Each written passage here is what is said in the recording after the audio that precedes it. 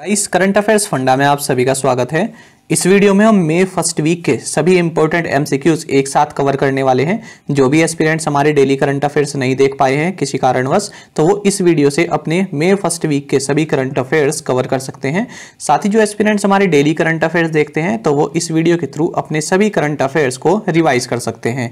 साथ ही गाइज़ इस सेशन को शुरू करने से पहले आप सभी को बताना चाहूँगा कि आप हमारी वन ईयर की मेंबरशिप अवेल कर सकते हैं, जिसके अंतर्गत आपको चैनल पर अपलोड होने वाली current affairs video PDF format में मिल जाएगी। इसके लिए आप टू फोर्टी नाइन रुपीज़ पे कर सकते हैं और ये मेंबरशिप आपकी एक साल के लिए वैलिड रहेगी। इसमें आपको daily current affairs PDF weekly compilation जो होता है करंट अफेयर्स का, वो पीडीएफ फॉर्मेट में और मंथली कंपाइलेशन भी पीडीएफ फॉर्मेट में प्रोवाइड कराया जाएगा। साथ ही जो भी टॉपिक वाइज वीडियोज़ हम बनाते हैं, जैसे कि appointments obituaries days and themes books and authors committees तो ये सभी भी आपको पीडीएफ फॉर्मेट में प्रोवाइड कराई जाती हैं। तो मेंबरशिप पाने का लिंक आपको इस वीडियो के फ़र्स्ट कमेंट में मिल जाएगा।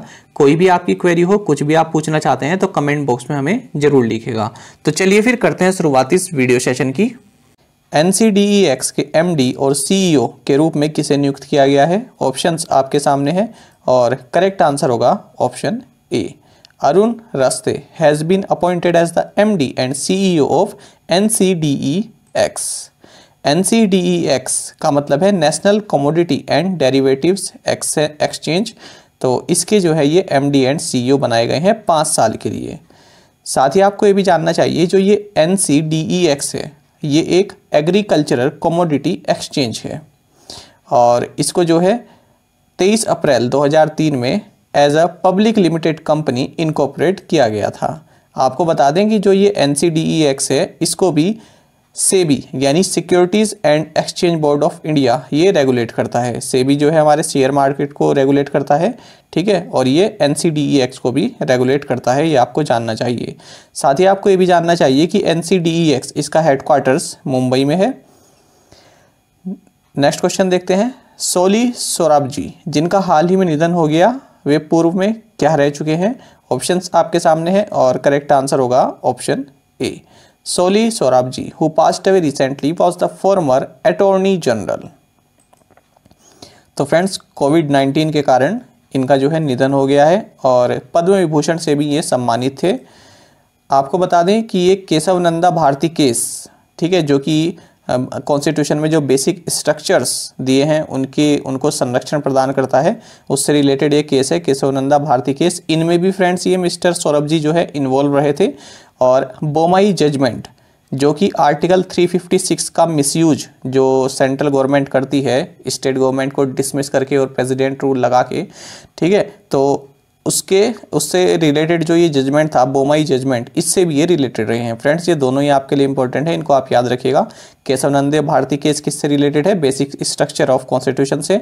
बोमाई जजमेंट किससे रिलेटेड है? जो आर्टिकल 356 से यानी प्रेसिडेंट रूल है, ठीक है? उसके मिस से संबंधित है।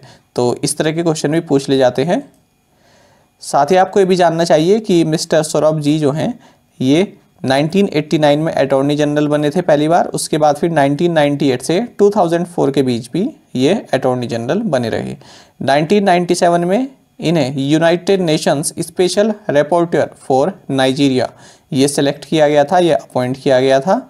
यानी कि नाइजीरिया से रिलेटेड जो भी कैबिनेट मीटिंग्स होती हैं, उसकी रिपोर्ट तैयार करना। ठीक है, उसको बोलते हैं रिपोर्टियर साथ ही आपको ये भी जानना चाहिए, अगर हम अटॉर्नी जनरल की बात करें तो आर्टिकल 76 अटॉर्नी जनरल से रिलेटेड है, ठीक है?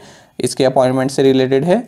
साथ ही आपको ये भी जानना चाहिए सीधा सीधा क्वेश्चन पूछा जाता है, चार ऑप्शन दे दिए जाते हैं कि भारत में हाईएस्ट लॉ ऑफिसर कौन है? तो उसका आंसर होता है अटॉर्नी जनरल साथ ही आपको ये भी जानना चाहिए कि अटॉर्नी जनरल को अपॉइंट कौन करता है? प्रेसिडेंट करते हैं। आगे बढ़ते हैं। बीओबी फाइनेंशियल सॉल्यूशंस लिमिटेड ने निम्नलिखित में से किसके साथ मिलकर कौन क्यू आर की शुरुआत की? ऑप्शन आपके सामने हैं और करेक्ट आंसर होगा option D. So B O B financial solutions limited in partnership with master card launched C O N Q R या कौन क्यू आर इसको बोल सकते हैं। तो फ्रेंड्स ये क्या है? कौन क्यू आर क्या है? ये master card Q R on card solution है। यानी कि जो मास्टर कार्ड है, जो कार्ड होता है हमारा, उसी पर क्यू आर कोड बना हुआ है। तो इसके तहत जो भी स्मॉल बिजनेसेस हैं, वो पेमेंट्स कर भी सकते हैं और पेमेंट रिसीव कर भी सकते हैं। साथ ही आपको ये भी जानना चाहिए कि जो मास्टर कार्ड है, इसके सीईओ हैं माइकल मईबैश और एग्जीक्यूटिव चेयरमैन है अजय बांगा किस देश ने अपने अंतरिक्ष स्टेशन का पहला मॉड्यूल लॉन्च किया है? ऑप्शंस आपके सामने हैं और करेक्ट आंसर होगा option B so China has launched the first module of its space station. और फ्रेंड्स, इस मॉड्यूल का नाम क्या है? तियानहे।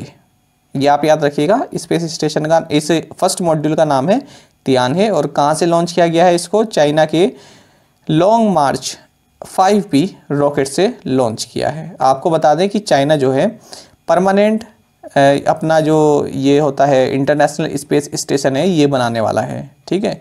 तो इसी की तैयारी कर रहा है। और जो ये स्पेस स्टेशन है, इसका नाम होगा तियानगोंग स्पेस स्टेशन या इसका नाम इन्होंने रखा है हेवनली पैलेस और 2022 तक कह रहे हैं कि ये ऑपरेशनल हो जाएगा। तो दो चीज़ें हैं, एक तो मॉड्यूल तियान है और दूसरा है space station Tiangong space station अच्छा फ्रेंड्स ये इंटरनेशनल स्पेस स्टेशन क्या होता है? देखिए, ये एक लार्ज स्पेस होता है and it orbits around earth ठीक है? और इसको आप इस तरह से कह सकते हैं कि एक घर की तरह होता है जहाँ एस्ट्रोनॉट्स रहते हैं, ठीक है? जब वे स्पेस में जाते हैं तो एस्ट्रोनॉट्स जो हैं यहीं पर रहते हैं। यही इस, यही जो है एक साइंस लैब की तरह काम करती है, जहाँ पर ये अपने जो एक्सपेरिमेंट होते हैं वो कर सकते हैं। ठीक है? इसको बोलते हैं इंटरनेशनल स्पेस स्टेशन कई सारी कंट्रीज़ को मिलाकर बनाती हैं, मिलकर बनाती हैं। और ये जो है कई पीसेज में बनता है, ठीक है? और इन पीसेस को एस्ट्रोनॉट्स ही लेकर जाते हैं ऊपर। अच्छा साथ ही आपको ये भी जानना चाहिए कि जो ये चाइना जो स्टेशन बना रही है, ये सोवियत यूनियन ने जो अपना स्टेशन बनाया था, मीर इसका नाम था, इसी की तरह है। और आपको बता दें, जैसे कि मैंने आपको बताया, इंटरनेशनल स्पेस स्टेशन जो फ़िलहाल मौजूद है, ये यूएस, रशिया, कनाडा, यूरोप और जापान से, जापान ने मिलकर बनाया है और 2024 में ये रिटायर हो जाएगा। इसकी सेवा समाप्त हो जाएगी। ठीक है, चाइना इसमें इंक्लूड नहीं है। तो इसीलिए चाइना जो है अपना स्पेस स्टेशन बना रहा है, जिसका नाम है त्यांगोंग स्पेस स्टेशन। वर्ष 2021-22 के लिए केंद्र सरकार द्वारा निर्धारित खाद्य अनाज उत्पादन लक्ष्य कितना है या क्या है? ऑप्शन आपके सामने है और करेक्ट आंसर होगा ऑप्शन सी सो कितना लक्ष्य है? 307.31 मिलियन टन्स तो गवर्नमेंट चाहती है कि 307.31 मिलियन टन्स का जो है फ़ूड ग्रेन प्रोडक्शन हो 2021-22 के लिए ये इन्होंने टारगेट रखा है। और इसमें जो खरीफ सीज़न में कितना रखेंगे? 151.43 मिलियन टन्स फ़ूड ग्रेन का टारगेट रखा गया है। और रबी सीज़न के लिए, यानी विंटर्स के लिए 155.88 मिलियन टन्स ठीक है, इसका टारगेट रखा गया है। इन दोनों को मिलाकर हो गया 307.31 मिलियन टन्स साथ ही आपको बता दें कि गवर्नमेंट ने ये भी कहा है कि अगर हम अगर हम लास्ट ईयर के मुकाबले बात करें तो लास्ट ईयर से 1.3 परसेंट ज़्यादा हमने इस बार फ़ूड ग्रेन प्रोडक्शन का टारगेट रखा हुआ है।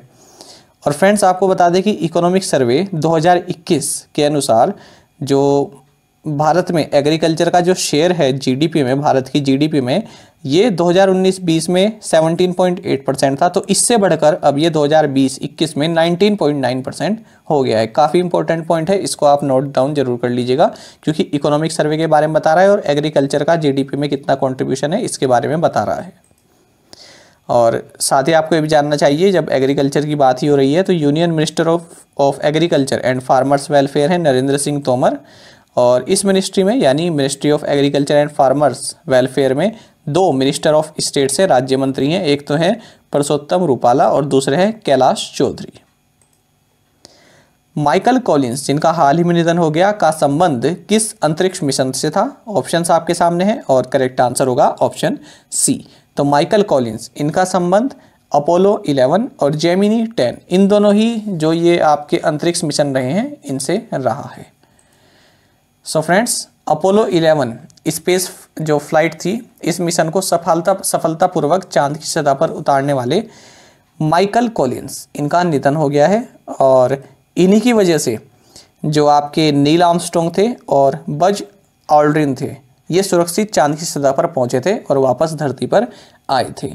ठीक है? तो ये जो अपोलो 11 जो मिशन था, ठीक है, इन्होंने ही फ्लू किया था इसको। इस स्पेस फ़्लाइट को यही लेकर गए थे ऊपर, ठीक है, वैसे इस मॉड्यूल का नाम था, जो कमांड मॉड्यूल इसका नाम था कोलम्बिया इसको ये लेकर गए थे। ये फ़ोटो तो आपने देखी होगी तो बीच में ये हैं माइकल कॉलिंस और फ्रेंड्स ये दो बार स्पेस में जो है जो है फ्लाई कर चुके हैं। पहले, पहली बार इन्होंने किया था जेमिनी टेन ठीक है, ये 1966 में इन्होंने किया था जेमिनी टेन, ये एक स्पेस फ़्लाइट थी, उसके बाद फिर अपोलो 11 कमांड मॉड्यूल कोलंबिया, ये किया था इन्होंने। ट्राइफेड और निम्नलिखित में से किसने आदिवासी विकास और रोज़गार सृजन की दिशा में एक साथ काम करने हेतु एक समझौता ज्ञापन पर हस्ताक्षर किए हैं?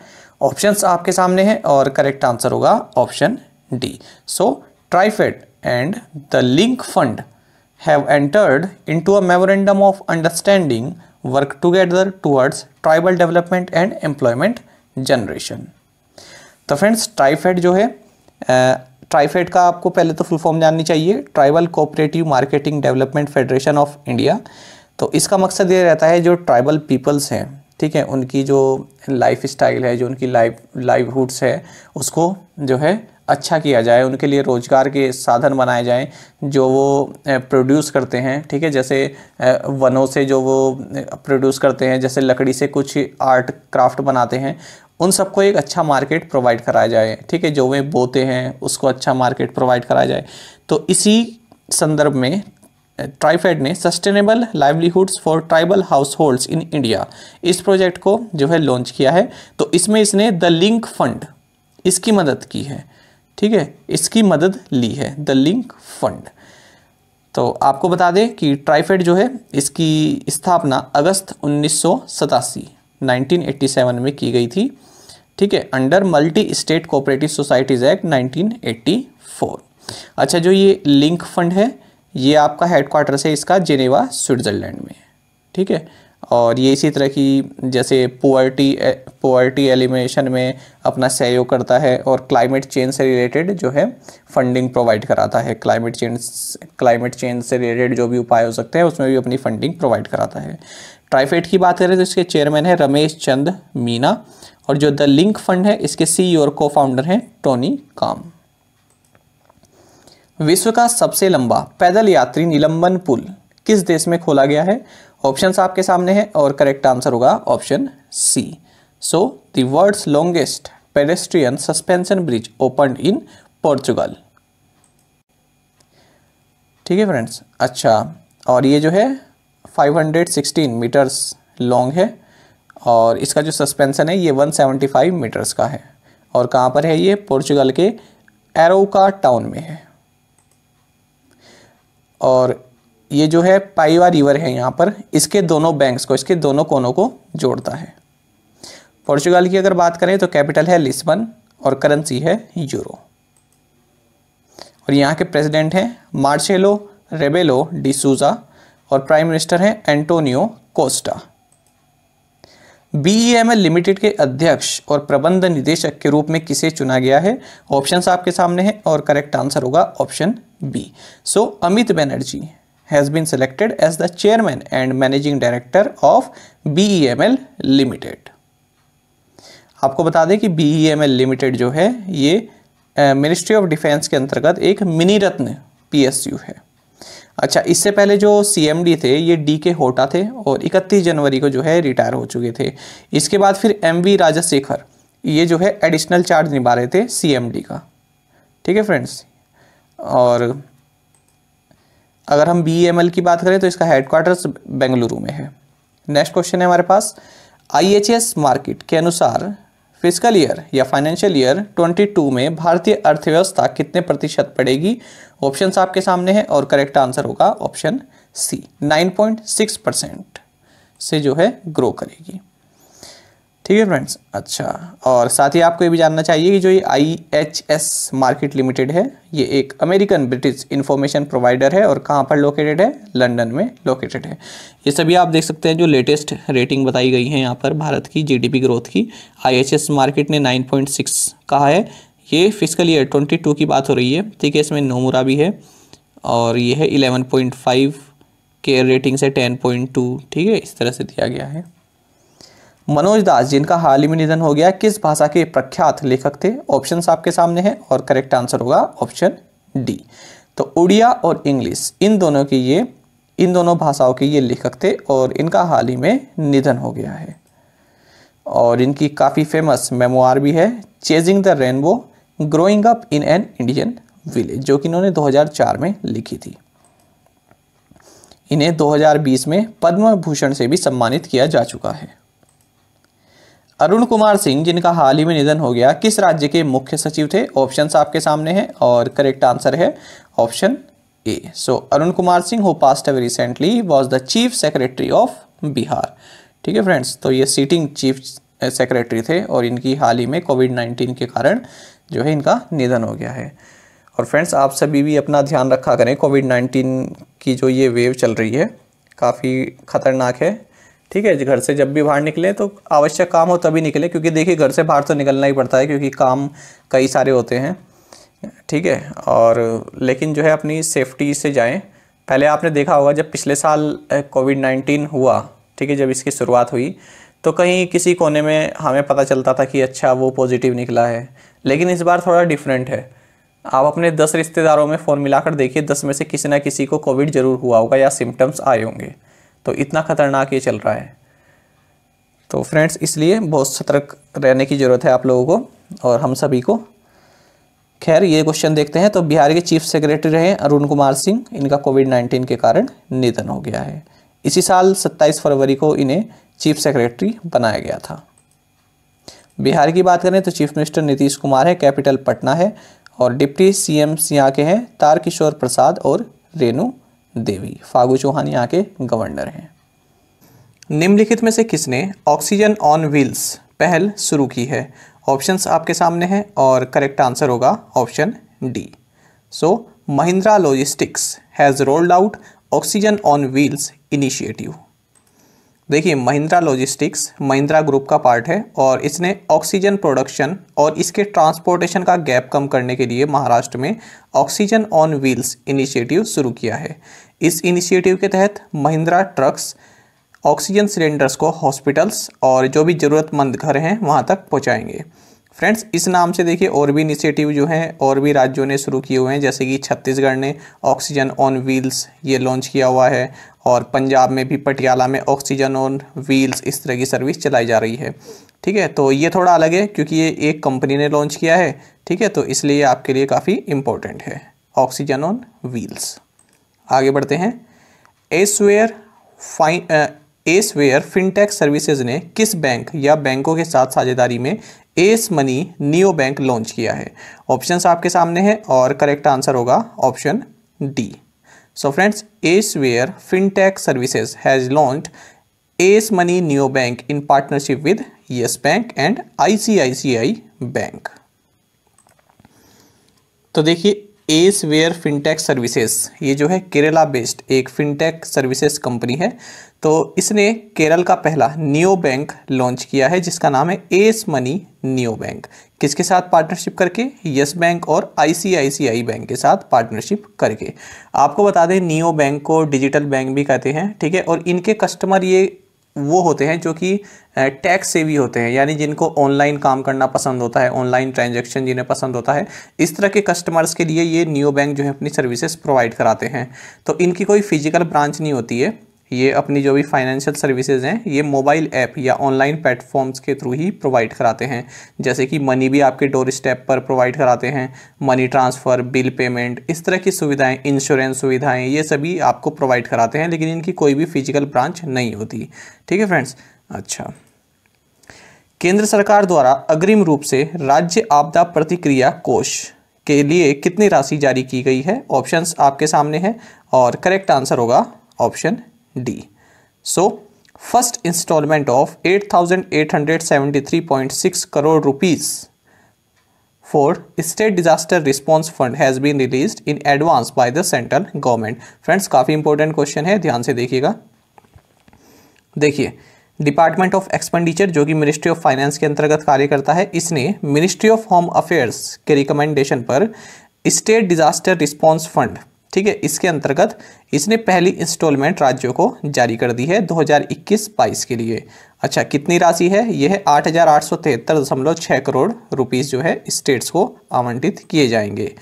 अच्छा तो फ्रेंड्स अब यहाँ पर लिखा है कि एडवांस में। एडवांस में क्यों किया है? क्योंकि जनरली जो ये फ़र्स्ट इंस्टॉलमेंट होती है स्टेट डिजास्टर रिस्पांस फंड के तहत, जो कि स्टेट्स को दी जाती है, ये जून महीने में दिया जाता है। लेकिन सिंस आपको पता है कि यहाँ पर महामारी जो चल रही है, इसकी वजह से स्टेट्स को थोड़ा सपोर्ट मिल सके, इसलिए ये राशि एडवांस में जारी कर दी गई है। और इसका 50 परसेंट यानी कि चार हज़ार चार सौ छत्तीस दशमलव आठ करोड़ रुपीज़ जो स्टेट्स हैं, ये कोविड नाइन्टीन कंटेनमेंट मेजर्स के लिए यूज़ कर सकते हैं, ठीक है? आगे बढ़ते हैं। भारत सरकार ने राज्यों को पूंजीगत व्यय के लिए कितनी राशि करोड़ में प्रदान करने का निर्णय किया है? काफ़ी इंपॉर्टेंट क्वेश्चन है फ्रेंड्स ये वाला भी और इससे पहले वाला भी, इसलिए मैंने इनको साथ में रखा है ताकि आप इजीली इनको समझ सकें।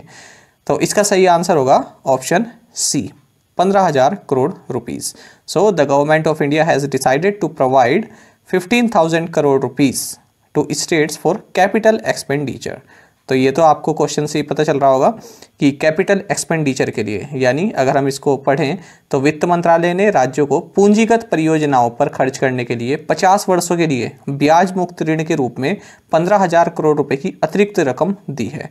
तो मेन चीज़ क्या है? एक तो ये ब्याज मुक्त ऋण है और कितने सालों के लिए? पचास साल के लिए दिया है। किस लिए दिया है? कैपिटल प्रोजेक्ट्स के लिए, यानी कि पूंजीगत परियोजनाओं के लिए। और किसके तहत दिया है? Scheme of financial assistance to states for capital expenditure. इस स्कीम के तहत दिया है 2021-22 फाइनेंशियल ईयर के लिए। और फ्रेंड्स, इसमें ये देखिए तीन तरह से है, तीन पार्ट हैं इसके। पहला पार्ट ये है तो फ़र्स्ट पार्ट में क्या है, जो नॉर्थ ईस्ट स्टेट्स हैं या फिर हील स्टेट्स हैं, इनको 26 छब्बीस सौ करोड़ रुपए दिए गए हैं, ठीक है? और इनके अलावा अब जो स्टेट्स पर बचते हैं, वो पार्ट टू में आते हैं, इन्हें चौहत्तर सौ करोड़ रुपए दिए गए हैं।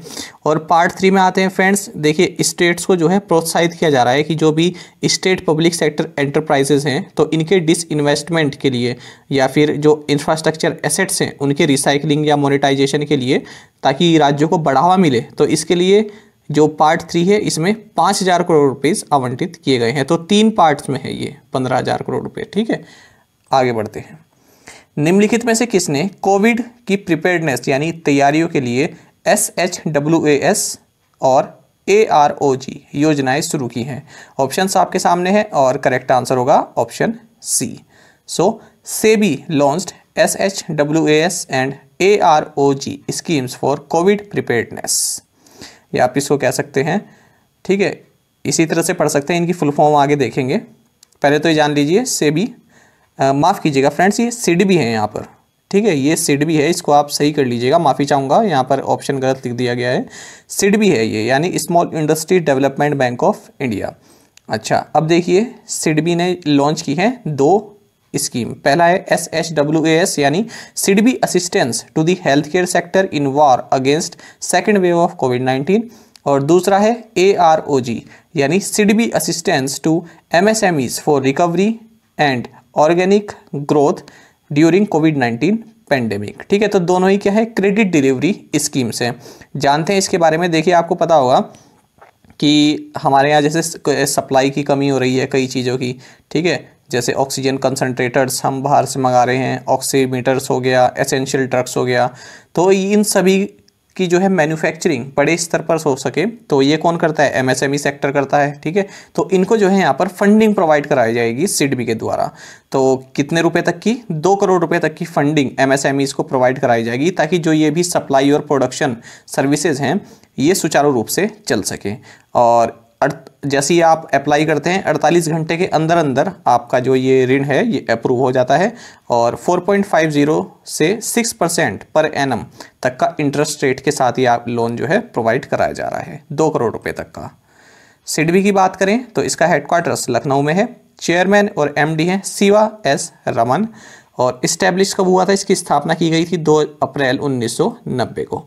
तो ये है चेयरमैन एंड एमडी साथ ही फ्रेंड्स आप ये भी जान लीजिए कि सिडबी में किसके कितने शेयर्स हैं।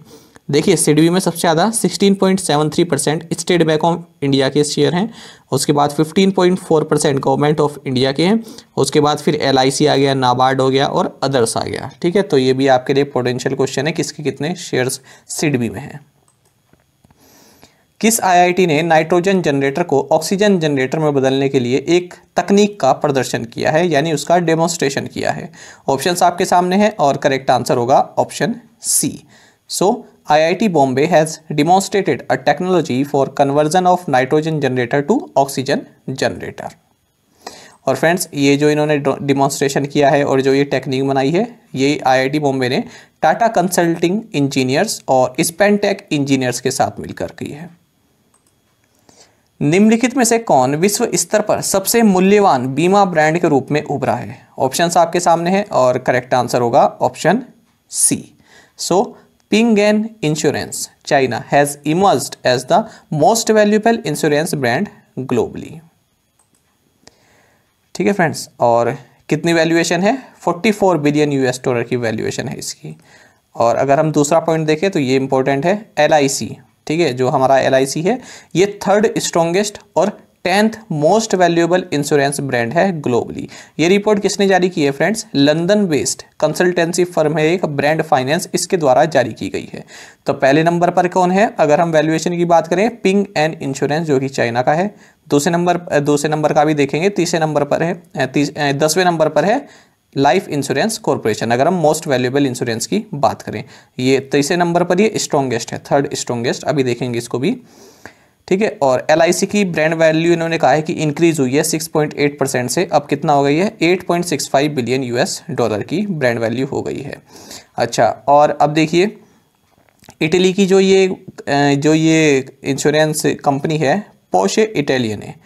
ये जो है स्ट्रॉन्गेस्ट इंश्योरेंस ब्रांड है और दूसरे नंबर पर है स्पेन की मैफ्री और तीसरे नंबर पर है इंडिया की एलआईसी तो एलआईसी तीसरी स्ट्रॉन्गेस्ट है और tenth most valuable insurance brand है। ठीक है तो ये दो चीज़ें रखनी है और दो चीज़ें और दूसरी क्या रखनी है कि स्ट्रॉन्गेस्ट कौन सा है और मोस्ट वैल्यूबल कौन सा है।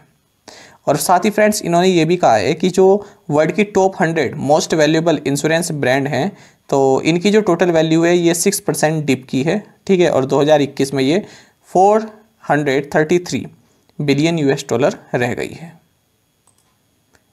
यहाँ से ये चार्ट आप देख सकते हैं, इसका इन इंश्योर इसका आप स्क्रीनशॉट ले सकते हैं, ठीक है? ये आप देख सकते हैं कि पिंग एंड इंश्योरेंस चाइना ये सबसे पहले नंबर पर है। अगर हम मोस्ट वैल्यूएबल इंश्योरेंस ब्रांड की बात करें, और फिर यहाँ पर है दसवें नंबर पर एलआईसी और ये है स्ट्रॉन्गेस्ट इंश्योरेंस ब्रांड तो पहले नंबर पर ये है इटली का, और फिर यहाँ पर अपना तीसरे नंबर पर है अपना एलआईसी हाल ही में खबरों में देखा गया Lag O Lag B Omer festival किस देश में मनाया जाता है? ऑप्शन आपके सामने है, और करेक्ट आंसर होगा option A so Lag BaOmer festival seen in the news recently is celebrated in Israel देखिए फ्रेंड्स यहाँ पर भगदड़ हो गई, ठीक है? और जिसकी वजह से चवालीस लोग यहाँ पर जो है कुचले गए और उनकी मृत्यु हो गई है। तो क्यों हुई है? यहाँ पर इस फेस्टिवल के दौरान यहाँ पर भीड़ जमा हुई थी इसराइल में। देखिए, ये एक एनुअल जूस फेस्टिवल है, जो कि हिब्रू मंथ ऑफ़ ईयर इसके तहत इस दिन, इस टाइम ड्यूरेशन में ये मनाया जाता है। तो फ्रेंड्स ये जो सेलिब्रेशन होता है तो ये 49 डे का पीरियड पीरियड का सेलिब्रेशन होता है और जिस दिन ये वाला फेस्टिवल होता है लेग बी ओमेर तो इसी दिन जो है सेलिब्रेशन करने को परमिशन दी गई थी। यानी इसी दिन सेलिब्रेशन करना जो है अलाउ होता है। तो लोग जो है अपने घरों से बाहर आए, है ना? और ये लोग कहाँ पहुँचे? माउंट मेरोन के बेस पर। ठीक है, इसके तल पर ये लोग पहुँचते हैं, हर साल करते हैं सही क्यों पहुँचते हैं? क्योंकि यहाँ पर एक संत हुई हैं रबी सिमोन बार यूचाई। तो इनको अपनी श्रद्धांजलि देने के लिए माउंट मेरोन के बेस पर ये पहुँचे और यहीं पर फ्रेंड्स स्टैम्पिट हो गई, यानी कि भगदड़ मच गई, जिसकी वजह से चवालीस लोग यहाँ पर जो है क्रश टू डेथ हो गए, यानी कुछ ले गए। इसराइल की बात करें तो प्रेसिडेंट हैं यहाँ के रियोविन रिवलिन, कैपिटल है जेरूसलम। यहाँ के प्राइम मिनिस्टर है बेंजामिन नेतन्याहू, करेंसी है न्यू शेकेल, पार्लियामेंट है नेसेट और इंटेलिजेंस एजेंसी है मोशात विश्व टूना दिवस किस दिन मनाया जाता है? ऑप्शन आपके सामने हैं और करेक्ट आंसर होगा ऑप्शन सी सो दो मई को मनाया जाता है विश्व टूना दिवस। तो ये टूना फ़िश है और इसके संरक्षण से रिलेटेड ही जागरूकता फैलाने के लिए ये दिन मनाया जाता है। डिफेंडर यूरोप 21 सैन्य अभ्यास किस देश में शुरू किया गया? ऑप्शंस आपके सामने हैं और करेक्ट आंसर होगा option C defender Europe 21 military exercise launched इन अल्बानिया। तो फ्रेंड्स, ये नेटो जो है, इसने एक जॉइंट मिलिट्री एक्सरसाइज शुरू किया है अल्बानिया में, जिसका नाम है डिफेंडर यूरोप 2021 ये एनुअल एक्सरसाइज है और यूएस आर्मी के द्वारा ये की जाती है। मल्टीनेशनल एक्सरसाइज है, कई देश इसमें शामिल होते हैं। आपको बता दें, जब बात हो रही है नेटो की तो आपको जान लेनी चाहिए कुछ इंपॉर्टेंट पॉइंट्स क्योंकि एग्ज़ाम में पूछ ले जाता है। इसकी स्थापना 4 अप्रैल उन्नीस को की गई थी। इसका हेडक्वार्टर्स ब्रुसेल्स, बेल्जियम में है। और अगर मेंबर कंट्रीज़ की बात करें तो 30 यूरोपियन कंट्रीज़ हैं इसमें और नॉर्थ अमेरिकन कंट्रीज़ जो भी हैं, वो सभी इसकी मेंबर हैं। साथ ही इसके सेक्रेटरी जनरल हैं जेम्स स्टोल्टेनबर्ग। और साथ ही फ्रेंड जब ये भी याद रखिएगा, जो अल्बानिया है, इसकी कैपिटल है तिराना और यहाँ की करेंसी है अल्बेनियन लेक। इस क्वेश्चन को देखते हैं। प्रकाश कुमार पंकज, जिनका हाल ही में निधन हो गया, किस संस्था के वरिष्ठ तकनीकी निदेशक थे? ऑप्शन आपके सामने है और करेक्ट आंसर होगा option D Prakash Kumar Pankaj who passed away recently was the senior technical director of national informatics centre तो फ्रेंड्स इनका जो है निधन हो गया है कोविड के कारण, ठीक है? तो याद रखिएगा नेशनल इन्फॉर्मेटिक्स सेंटर इसके सीनियर टेक्निकल डायरेक्टर ये रहे थे, प्रकाश कुमार पंकज। रोनी गोवेंडर, जिनका हाल ही में निधन हो गया, वे एक प्रसिद्ध क्या थे? तो फ्रेंड्स ये प्रसिद्ध ऑथर थे। इंडियन ओरिजिन ऑथर थे और इनकी जो है साउथ अफ्रीका में इनका निधन हो गया है। तो इनका कोविड की वजह से नहीं हुआ है। एज रिलेटेड जो इश्यूज़ आ जाते हैं, उसकी वजह से इनका निधन हो गया है। याद रखिएगा ऑथर हैं ये।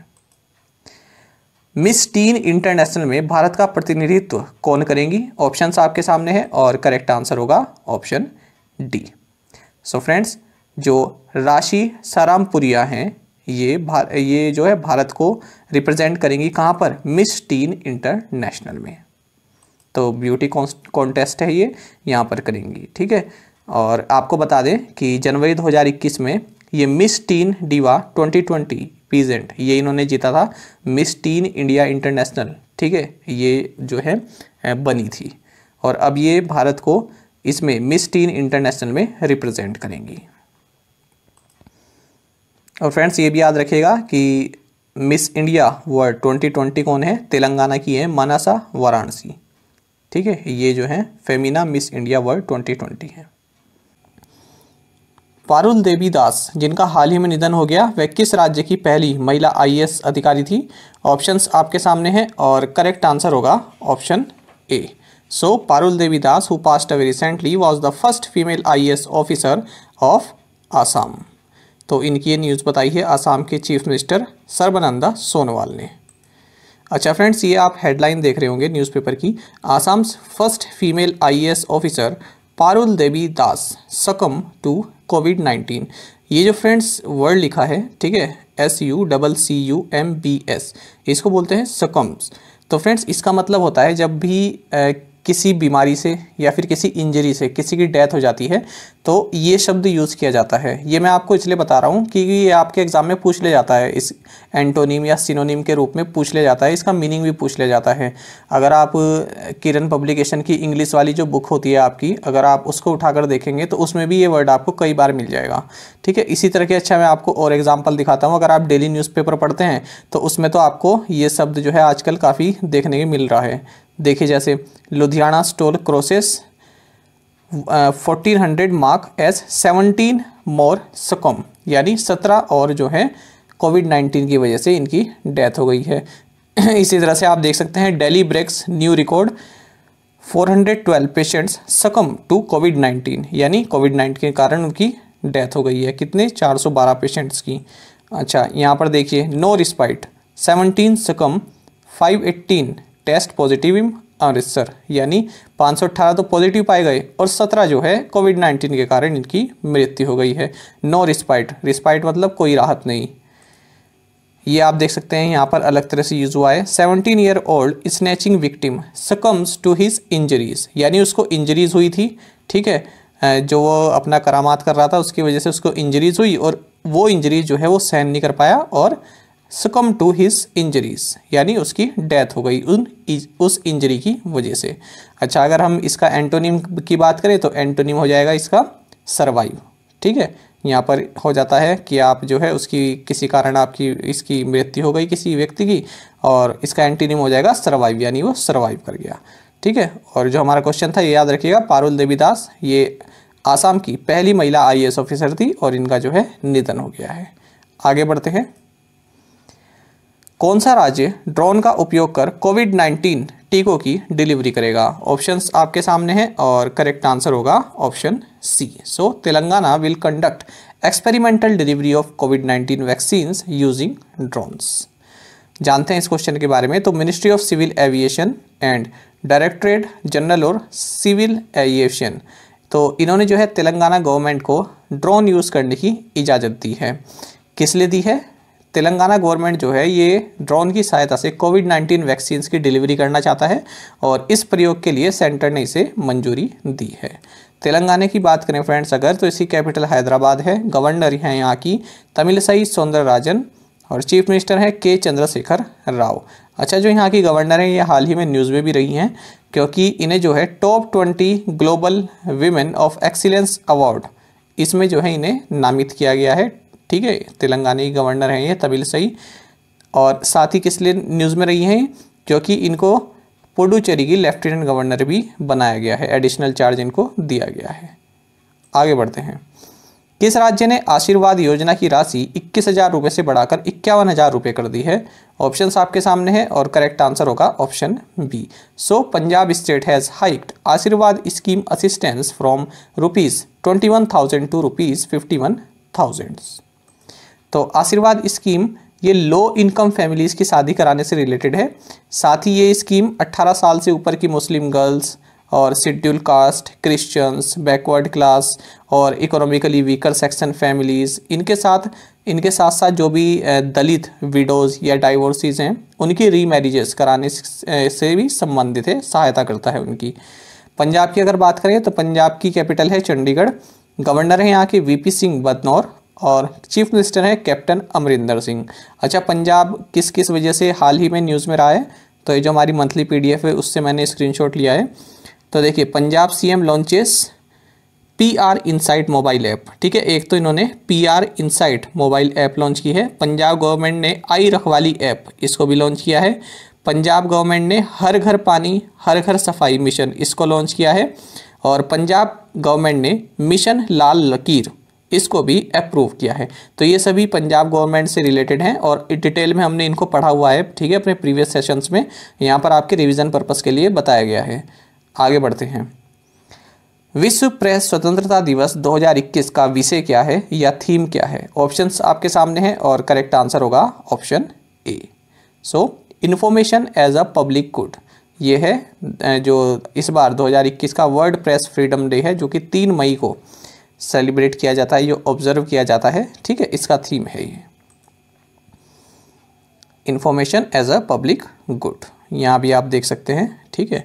अच्छा जब बात हो रही है वर्ल्ड प्रेस फ्रीडम डे की तो आप ये भी जान लीजिए कि वर्ल्ड प्रेस फ्रीडम इंडेक्स जो है, इसमें इंडिया ने, इस बार का जो है, इसमें इंडिया ने 180 कंट्री में से 142 रैंक है इंडिया की, ठीक है?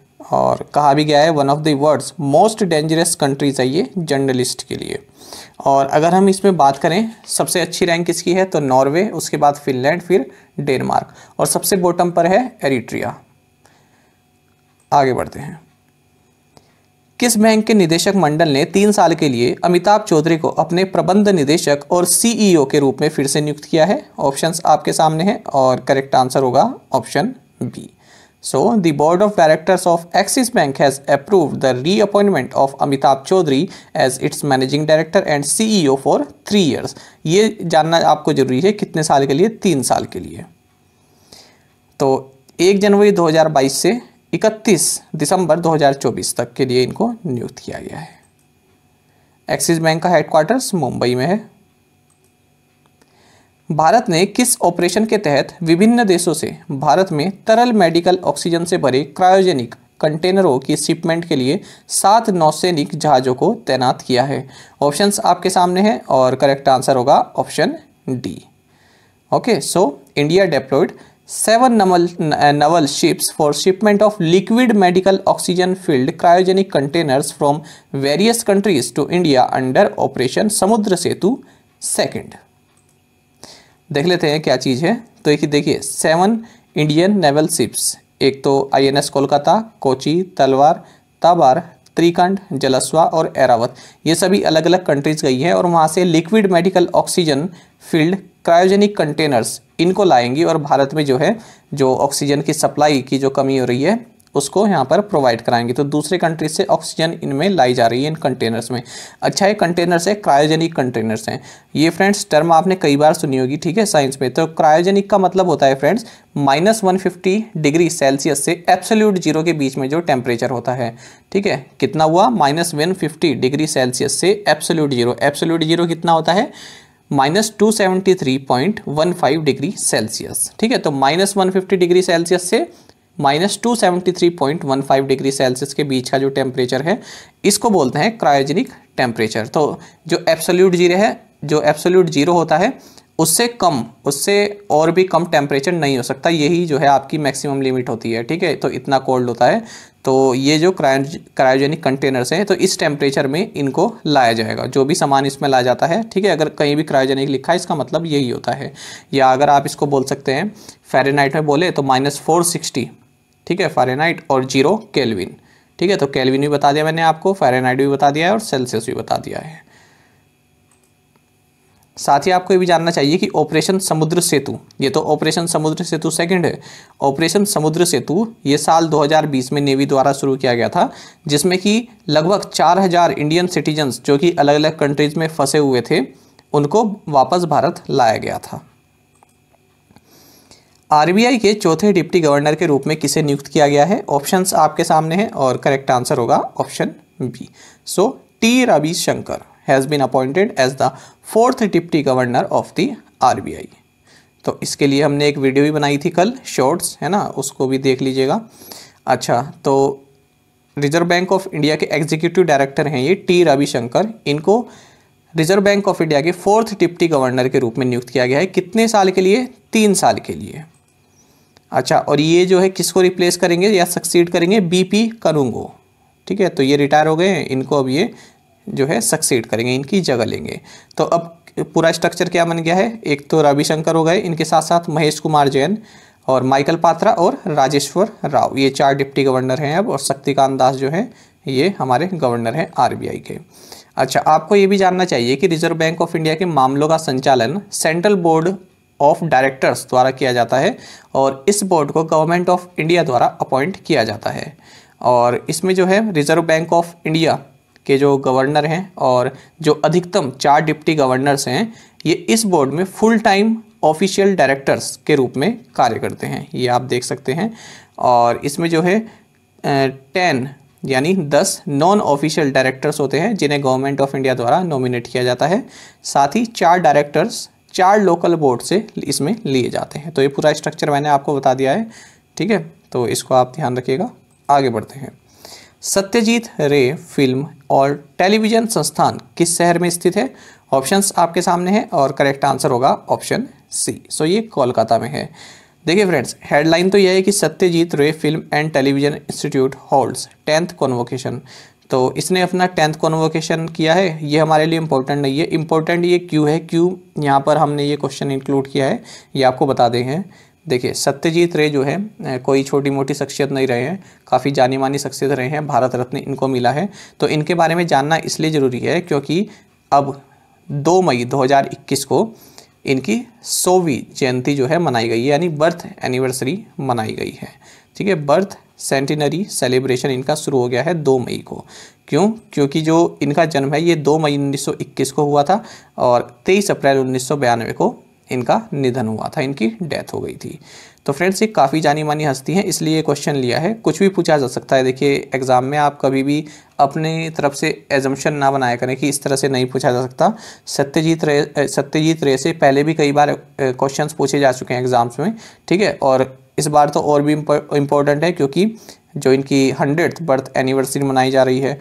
अच्छा तो ये क्या थे? ये Indian film director script writer documentary film maker author lyricist magazine editor illustrator calligrapher और म्यूज़िक कंपोज़र ये सभी थे। आप देख सकते हैं कितने जो है काबिल व्यक्ति ये अपने कैरियर में रहे हैं। अच्छा ये जो है अपू ट्रायोलॉजी के लिए जाने जाते हैं। तो इसका मतलब क्या है? इसमें तीन फिल्म्स आती हैं जो इन्होंने डायरेक्ट की हैं, जो कि काफ़ी काफ़ी अव्वल दर्जे की फ़िल्म रही हैं। एक तो इनकी पहली फ़िल्म ये थी, पाथिर पंचाली।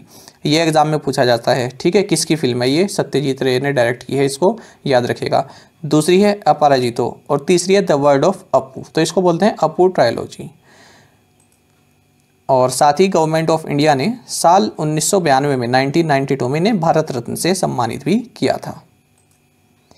जापानी स्पोर्ट्स वेयर ब्रांड एसिक्स या फिर A S I C S के ब्रांड एम्बेसडर के रूप में किस भारतीय क्रिकेटर को नियुक्त किया गया है? ऑप्शन आपके सामने है और करेक्ट आंसर होगा option D okay Ravindra Jadeja.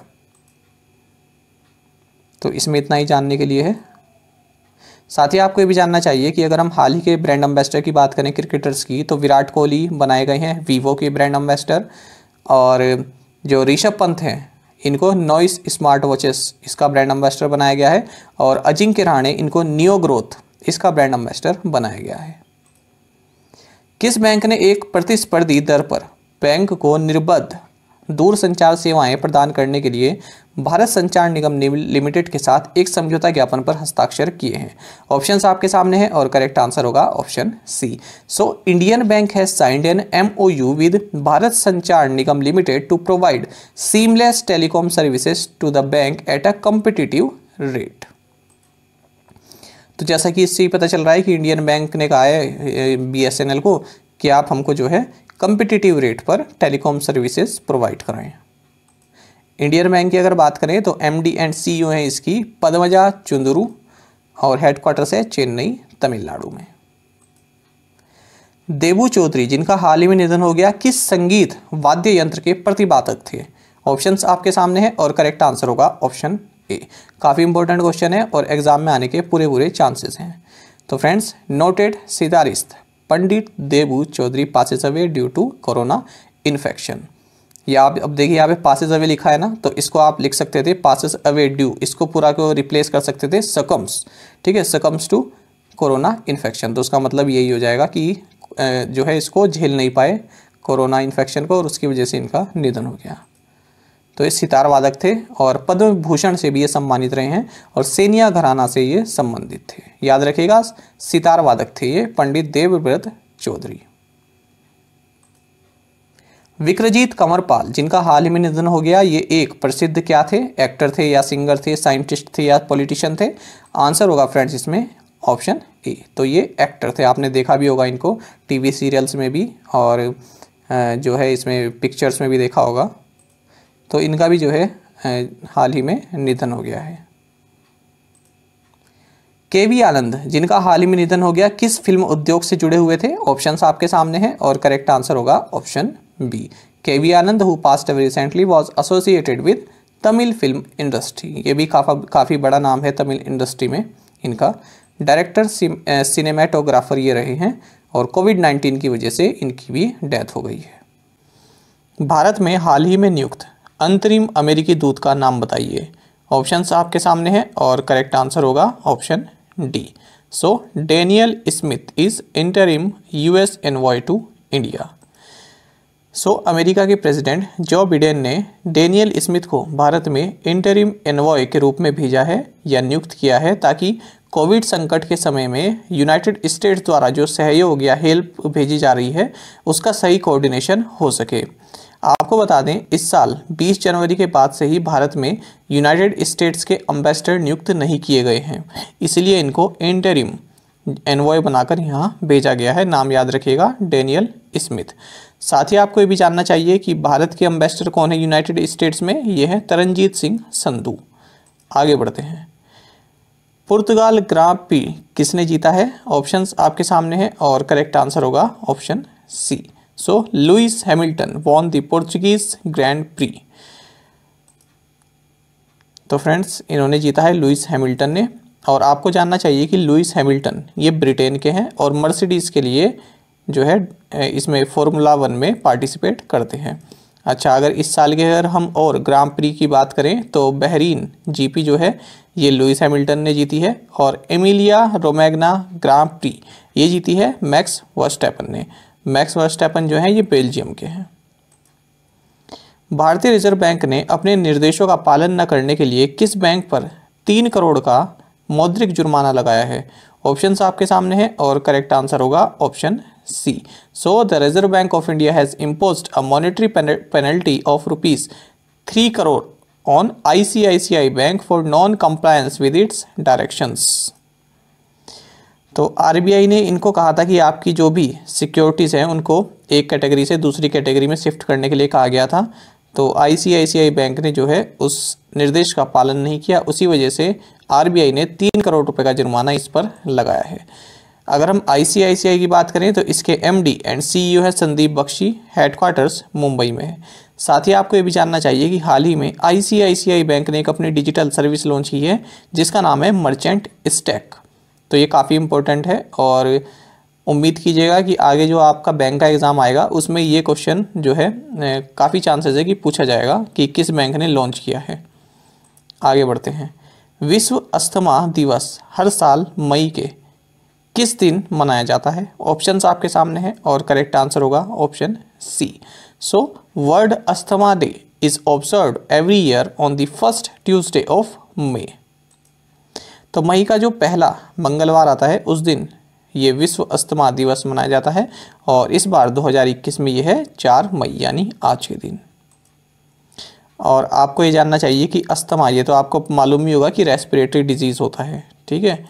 और इसका इस बार थीम क्या है फ्रेंड 2021 में अनकवरिंग अस्थमा मिसकंसेप्शंस तो काफ़ी इंपॉर्टेंट डे और इसका थीम है ये, इसको आप नोट डाउन ज़रूर कर लीजिएगा। स्पेनिश मोटरसाइकिल ग्रां प्री किसने जीता है? ऑप्शंस आपके सामने हैं और करेक्ट आंसर होगा ऑप्शन बी। तो जैक मिलर ने जीता है ये स्पेनिश मोटरसाइकिल ग्रां प्री। और ये जो हैं, जो जैक पीटर मिलर हैं, ये ऑस्ट्रेलिया के हैं, ये भी आपको जानना चाहिए। नेक्स्ट है हमारे पास 2021 UNESCO Guillermo Cano World Press Freedom Prize किसने जीता है? तो इसका सही आंसर होगा friends option B. So Maria Ressa won 2021 UNESCO Guillermo Cano World Press Freedom Prize देखिए, जानते हैं इसके बारे में, काफ़ी इंपॉर्टेंट क्वेश्चन है। तो पहले तो आप ये जान लीजिए कि जो ये मारिया रेसा हैं, ये फिलीपींस की हैं। ठीक है? अच्छा तो twenty four twenty five thousand U dollar का ये प्राइज़ मिला है इनको। ठीक है? और जैसा कि नाम से पता चल रहा है कि प्रेस फ्रीडम के लिए इन्होंने काम किया होगा, ठीक है? बिना डरे इन्होंने पत्रकारिता की होगी। इसी वजह से इनको ये पुरस्कार मिला है। तो ये किस उपलक्ष्य में मिला है? तो वर्ल्ड प्रेस फ्रीडम जो जो बनाया जाता है वर्ल्ड प्रेस फ्रीडम डे तीन मई को तो उसके दिन इनको ये इस अवार्ड से सम्मानित किया गया है। तो ये सेरेमनी कहाँ पर हुई है? ये हुई है नामीबिया की कैपिटल है, विंडोक। यहाँ पर हुई है ये सेरेमनी, यहाँ पर इनको दिया गया है। तो याद रखिएगा, नामीबिया की कैपिटल भी यहाँ से आप याद कर लीजिएगा। अच्छा जो ये प्राइज़ है, ये एक कोलम्बिया की जर्नलिस्ट हुए हैं गलेरमो कैनो इसाजा। इनके नाम पर रखा गया है। तो इनको जो है असेसिनेट कर दिया गया था। फ्रेंड्स असेसिनेट की स्पेलिंग आप याद रखिएगा। एसएससी एग्ज़ाम्स में पूछ ली जाती है। ठीक है? चार ऑप्शन दे देते हैं ना कि कौन सी स्पेलिंग इसमें सही है। और भी एग्ज़ाम में पूछ ले जाता है। ठीक है? तो याद रखिएगा। स्पेलिंग तो ये याद रखिएगा। ठीक है? तो जो ये हैं कोलंबिया के जर्नलिस्ट थे। इनकी हत्या कर दी गई थी इनके ऑफ़िस के सामने ही। क्योंकि ये जो है बिना डरे पत्रकारिता किया करते थे। तो इन्हीं के सम्मान में इस पुरस्कार को जो है इस्टेब्लिश किया गया था। और फ्रेंड्स इसी से आपका एक क्वेश्चन ये भी बन जाता है कि विंडोग डिक्लेरेशन ये किससे संबंधित है? तो विंडोग डिक्लेरेशन ये प्रेस फ्रीडम से संबंधित है। और जो ये डिक्लेरेशन है, ये तीन मई उन्नीस सौ इक्यानवे को अडॉप्ट किया गया था। इसी उपलक्ष्य में ये जो आपका वर्ल्ड प्रेस फ्रीडम डे है, ये तीन मई को मनाया जाता है। हाल ही में किस देश के राजनयिक की मृत्यु दिल्ली छावनी के बेस अस्पताल में कोविड 19 से हुई है? ऑप्शंस आपके सामने है और करेक्ट आंसर होगा ऑप्शन सी। सो, तंजानिया के डिप्लोमेट ये थे। इनका नाम है मोसेस विटस मुलूला। तो ये जो है फ़र्स्ट फॉरेन डिप्लोमेट बन गए हैं जिनकी भारत में कोविड 19 की वजह से मृत्यु हुई है। तंजानिया के थे ये। Colonel Moses Beatus Mulula. Tanzania की बात करें तो कैपिटल है डोडोमा, करेंसी है तंजानियन शिलिंग, प्रेसिडेंट है सामिया सुलूहू, प्राइम मिनिस्टर हैं कसीम मजालीवा। और फ्रेंड्स, हाल ही में आप याद रखिएगा कि जो तंजानिया के प्रेसिडेंट रहे थे अब तक, जॉन मुगुफुली, इनकी हाल ही में इनकी भी निधन हो गया है। तीरंदाजी विश्व कप स्टेज वन में पुरुष और महिला व्यक्तिगत स्वर्ण पदक जीतने वाले पति पत्नी, इनकी जोड़ी का आपको नाम बताना है कि किन्होंने जीता है। दोनों ही हस्बैंड वाइफ हैं, ठीक है? तो ऑप्शन आपके सामने हैं और करेक्ट आंसर होगा ऑप्शन ए सो अतनुदास और दीपा, दीपिका कुमारी, दोनों ही तीरंदाज हैं और इन दोनों ने जो है archery World Cup stage one में जो इसमें इंडिविजुअल रीकर होता है, इसमें गोल्ड मेडल जीता है। हुआ कहाँ पर है फ्रेंड्स ये? Archery World Cup stage one, ये हुआ है गोटेमाला सिटी में। ठीक है? आगे बढ़ते हैं। अमेरिकी विदेश विभाग ने भारत को 2.42 बिलियन डॉलर की लागत के एक सौदे में किन छह विमानों की प्रस्तावित बिक्री को मंजूरी दी है? काफ़ी इंपॉर्टेंट क्वेश्चन है। ऑप्शंस आपके सामने हैं और करेक्ट आंसर होगा option B so the US State Department approved the proposed sale of P eight I patrol six aircraft in a deal estimated to cost 2.42 billion US dollar to India और इससे पहले friends 2009 में भी भारत आठ इस तरह के एयरक्राफ्ट ले चुका है और उसके बाद 2016 में भी चार एयरक्राफ्ट ले चुका है। तो इसके अतिरिक्त अब सिक्स पी एट आई मेरी पेट्रोल एयरक्राफ्ट जो हैं, भारत को दिए जाएँगे। तो इनकी खासियत यह है कि एक तो ये long range anti submarine warfare करने में सक्षम है, साथ ही एंटी सरफेस वारफेयर करने में सक्षम है, ठीक है? तो ये सभी इसकी खासियत है। कभी कभी फ्रेंड्स कंट्री भी पूछ लेते हैं कि कौन सी कंट्री जो है इन एयरक्राफ्ट को भारत को देगी? तो उसमें चार ऑप्शंस आ जाते हैं यूके इसराइल यूएस ठीक है? या जापान तो उसमें उस दशा में आंसर होगा यूएस खैर, ये क्वेश्चन देखते हैं। किस देश ने हाल ही में T P L F O L F Shene को आतंकी समूह घोषित किया है। ऑप्शन आपके सामने हैं और करेक्ट आंसर होगा option D so Ethiopia has recently declared T P L F O L F Shene as terror groups तो टी पी एल एफ़ का मतलब है टिग्रे पीपल्स लिबरेशन फ्रंट और दूसरा आपका ये संगठन है ओ एल एफ़ शीन तो इन दोनों को ही यूथोपिया गवर्नमेंट ने टेरर एक्टिविटीज़ के चलते टेरर ग्रुप्स या ऑर्गेनाइजेशन डिक्लेयर कर दिया है। फ्रेंड्स आपको ये जानना चाहिए कि टिगरे रीजन, ये जो है यूथोपिया में है और ये हाल ही में जो है काफ़ी चर्चा में भी रहा है। क्यों रहा है? देखिए, यहाँ पर जो यूथोपिया में ये जो रीजन है, टिगरे रीजन तो इस रीजन में जो लोग रहते हैं, ठीक है तो उनको एक तरह से कहा जाता है कि ये लोग जो है विद्रोही हैं। तो यहाँ पर आर्मी का कैंप था, यूथोपियन आर्मी का कैंप था तो उस पर हमला हुआ। तो यूथोपियन गवर्नमेंट ने कहा है कि ये हमला जो है टिगरे रीजन में जो लोग रहते हैं, ठीक है, इन्होंने किया है, जो रेबल्स रहते हैं, इन्होंने किया है। तो तब से जो है काफ़ी घमासान इनमें संघर्ष चला। आस पड़ोसी कंट्रीज़ ने भी जो है यूथोपियन गवर्नमेंट का साथ देकर यहाँ पर कई सौ से भी ज़्यादा लोग जो है मासूम लोग यहाँ पर मारे गए। कुछ मासूम थे और कुछ वाकई में रेबल थे, ठीक है? तो ये काफ़ी चर्चा में रहा है, याद रखिएगा टिगरे रीजन ये यूथोपिया में है। अगर आप जैसे पीसीएस टाइप के एग्ज़ाम की अगर तैयारी कर रहे हैं तो उस दशा में ये पूछ लिया जाता है। बाकी नहीं पूछा जाएगा किसी एग्ज़ाम में, ठीक है? जो हाई लेवल एग्ज़ाम होते हैं उनमें पूछ लिया जाता है। यूथोपिया की अगर बात करें तो कैपिटल है अदीस अबाबा, करेंसी है यूथोपियन बीर, प्रेसिडेंट है साले वर्क जेवडे और प्राइम मिनिस्टर हैं अबी अहमद। बिहार में राष्ट्रीय जनता दल, राजद के पूर्व सांसद मोहम्मद शहाबुद्दीन, जिनकी हाल ही में कोविड 19 से मृत्यु हो गई, इन्हें किस नाम से जाना जाता था? ऑप्शंस आपके सामने हैं और करेक्ट आंसर होगा option D. So, Mohammad Shahabuddin former Rashtriya Janata Dal MP in Bihar, who died of COVID-19 recently, was also infamously known as sultan of Siwan infamously अगर यहाँ पर फेमसली लिखा जाता तो यानी कि प्रसिद्ध थे अच्छे कामों की वजह से जाना जाता था। अब लग गया है इनफेमसली यानी कि गलत कामों की वजह से उनकी पहचान बनी हुई थी ठीक है? तो ये दोनों अंतर होता है फेमसली और इनफेमसली में। तो देख रहे हैं सांसद थे ठीक है? और फिर वही है ना, जब आप गलत काम करते हैं, फिर आपकी दशा ये हो जाती है, कोर्ट के चक्कर फिर लगाने पड़ते हैं। एक सांसद और को और क्या चाहिए था? लेकिन जब आदमी की बात ईगो पर आ जाती है तो वो जो है गलत काम कर देता है और ये भूल जाता है कि अगर वो पकड़ा गया तो उसकी ज़िंदगी जो है जेल के पीछे चली जाएगी। सेम फ्रेंड्स यही दशा होती है जो आजकल जैसे गर्ल्स पर या फिर लेडीज़ पर जो भी क्राइम होते हैं, जैसे रेप ही मान लीजिए, आदमी जोश जोश में जो है गलत कदम उठा लेता है, लेकिन एक बार ये नहीं सोचता है कि अगर मैं एक बार पकड़ा गया, उसके बाद पूरी ज़िंदगी जो है मेरी जेल के पीछे ही जाएगी। ठीक है?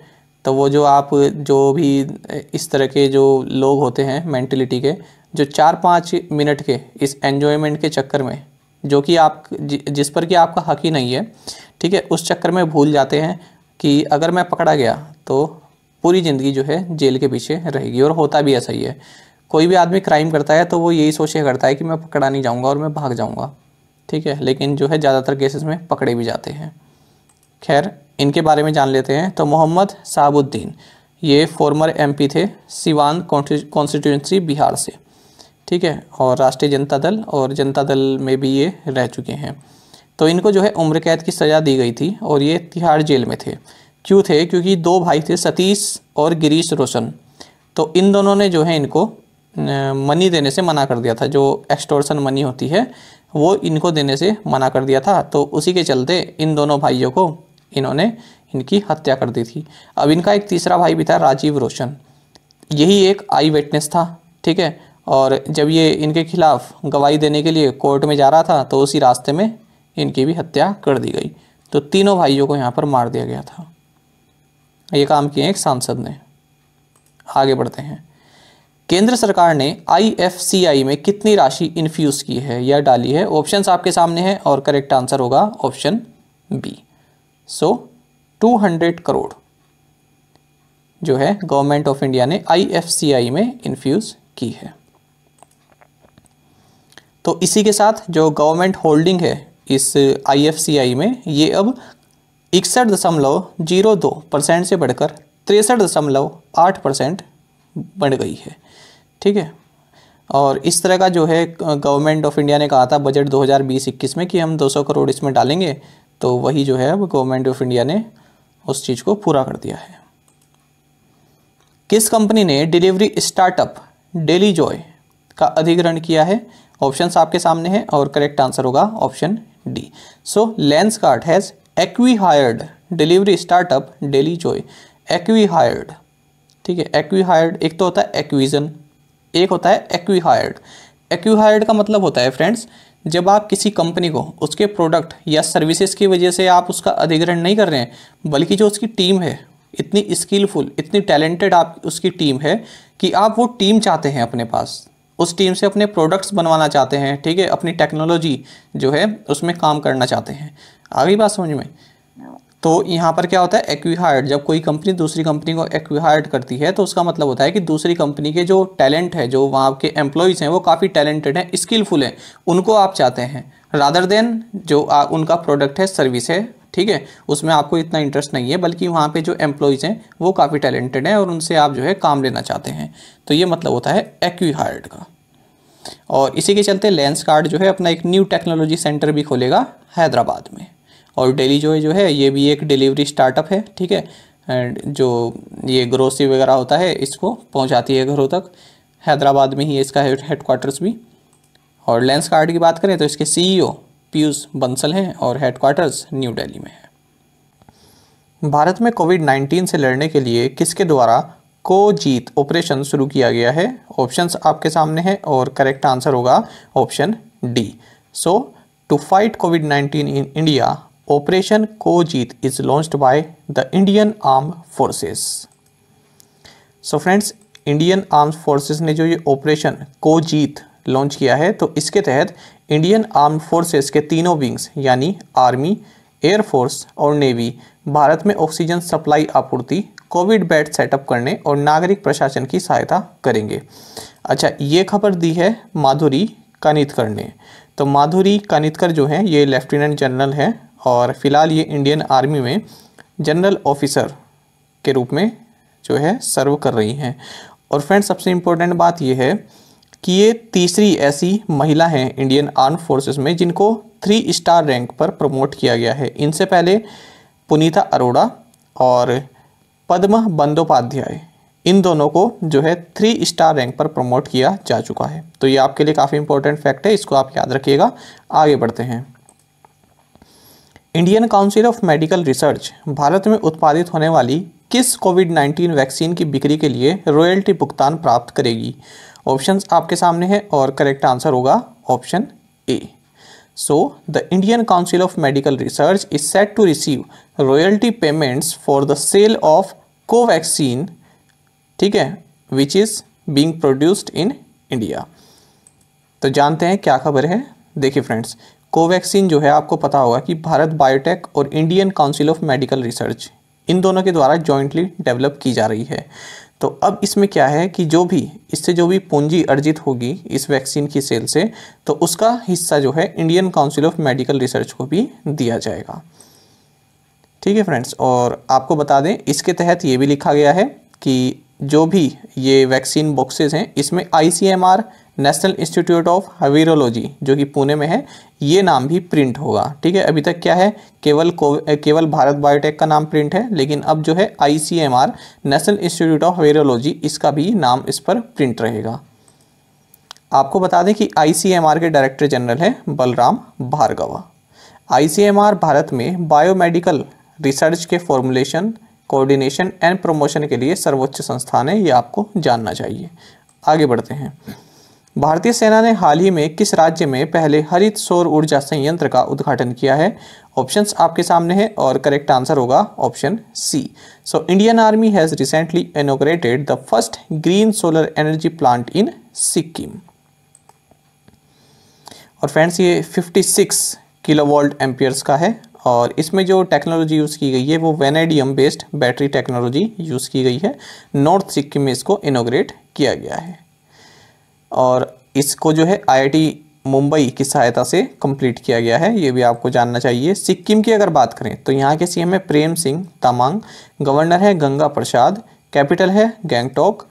और फ्रेंड्स, यहाँ पर जो फ़ेमस फेस्टिवल्स हैं, ये भी आपको जानने चाहिए। लोसार, सोनम लौसार, सगा दवा, भानु जयंती और इंद्र जात्रा। ये फ्रेंड्स आपके लिए काफ़ी इंपॉर्टेंट है। एग्ज़ाम में पूछा गया है एक दो बार एस में। सगा दवा, ठीक है? सिक्किम में है। और साथ ही आपको ये भी जानना चाहिए, सिक्किम जो है, ये Tibet Autonomous Region of China Bhutan West Bengal और नेपाल से बॉर्डर शेयर करता है। साथ ही 16 मई 1975 को इसे भारत में जो है बाईसवें राज्य के रूप में शामिल किया गया था। और कंचनजंगा, जो कि इंडिया की हाईएस्ट पीक है और वर्ल्ड की थर्ड हाईएस्ट माउंटेन है, ये भी सिक्किम में है। अच्छा फ्रेंड्स, ये आप मैप देखिए, काफ़ी इंपॉर्टेंट है आपके लिए। ये आप देख रहे हैं तो यहाँ पर सिक्किम है, ठीक है? और इस पार्ट में जो है वेस्ट बंगाल है यहाँ पर। तो ये जो आप देख रहे हैं ना, ये पूरा पैसेज ये सिलीगुड़ी कॉरिडोर कहलाता है, ठीक है? सिलीगुड़ी यहाँ पर जो जगह है वेस्ट बंगाल में, उसी के नाम पर है सिलीगुड़ी कॉरिडोर और ये जो जगह आप देख रहे हैं बीच में, ये चिकन स्नैक कहलाती है। ठीक है, आपको दिख भी रहा होगा यहाँ से कि चिकन स्नैक जैसी इसकी आकृति है। तो देखिए, काफ़ी इंपॉर्टेंट ये जो कॉरिडोर है, ये भारत के लिए है। देखिए, मान लीजिए अगर ये कॉरिडोर ना हो, ठीक है, ये या फिर ये कॉरिडोर आप ब्लॉक कर दीजिए यहाँ से, इतना ब्लॉक कर दीजिए। अब ये जो पूरे नॉर्थ ईस्ट के स्टेट्स हैं, जो ये सेवन सिस्टर्स हैं तो अब ये भारत से किस तरह से कनेक्ट होंगे? कोई भी ज़रिया नहीं है मतलब रोड के थ्रू तो कोई ज़रिया ही नहीं है, ठीक है कनेक्ट होने का। तो इसलिए ये काफ़ी इंपॉर्टेंट है। तो चाइना के साथ जो हमारा डोकलाम में जो इशू चल रहा था यहाँ पर, ठीक है, वो इसी की वजह से चल रहा था।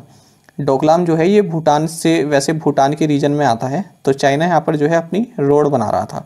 उस रोड बनाने से क्या होता कि चाइना जो है काफ़ी समीप आ गया था इस कॉरिडोर के, जो कि हमारे लिए आगे के लिए खतरा हो सकता था। मान लीजिए चाइना का तो कोई भरोसा नहीं है, ठीक है, मान लीजिए कुछ उसने एग्रेशन दिखाया होता और हमें कुछ टाइम के लिए इसको बंद करना पड़ जाए तो हम इनसे कुछ कनेक्टिविटी नहीं रहेगी भारत की। ठीक है तो इसलिए ये कॉरिडोर भारत के लिए काफ़ी इंपॉर्टेंट है। इसकी सेफ्टी सिक्योरिटी काफ़ी इंपॉर्टेंट है भारत के लिए। तो याद रखिएगा, सिलीगुड़ी कॉरिडोर इसको बोलते हैं चिकन स्नैक इसको बोला जाता है। ठीक है, आगे ये सिक्किम है यहाँ पर, और यहाँ पर ये वेस्ट बंगाल है इधर। आगे बढ़ते हैं।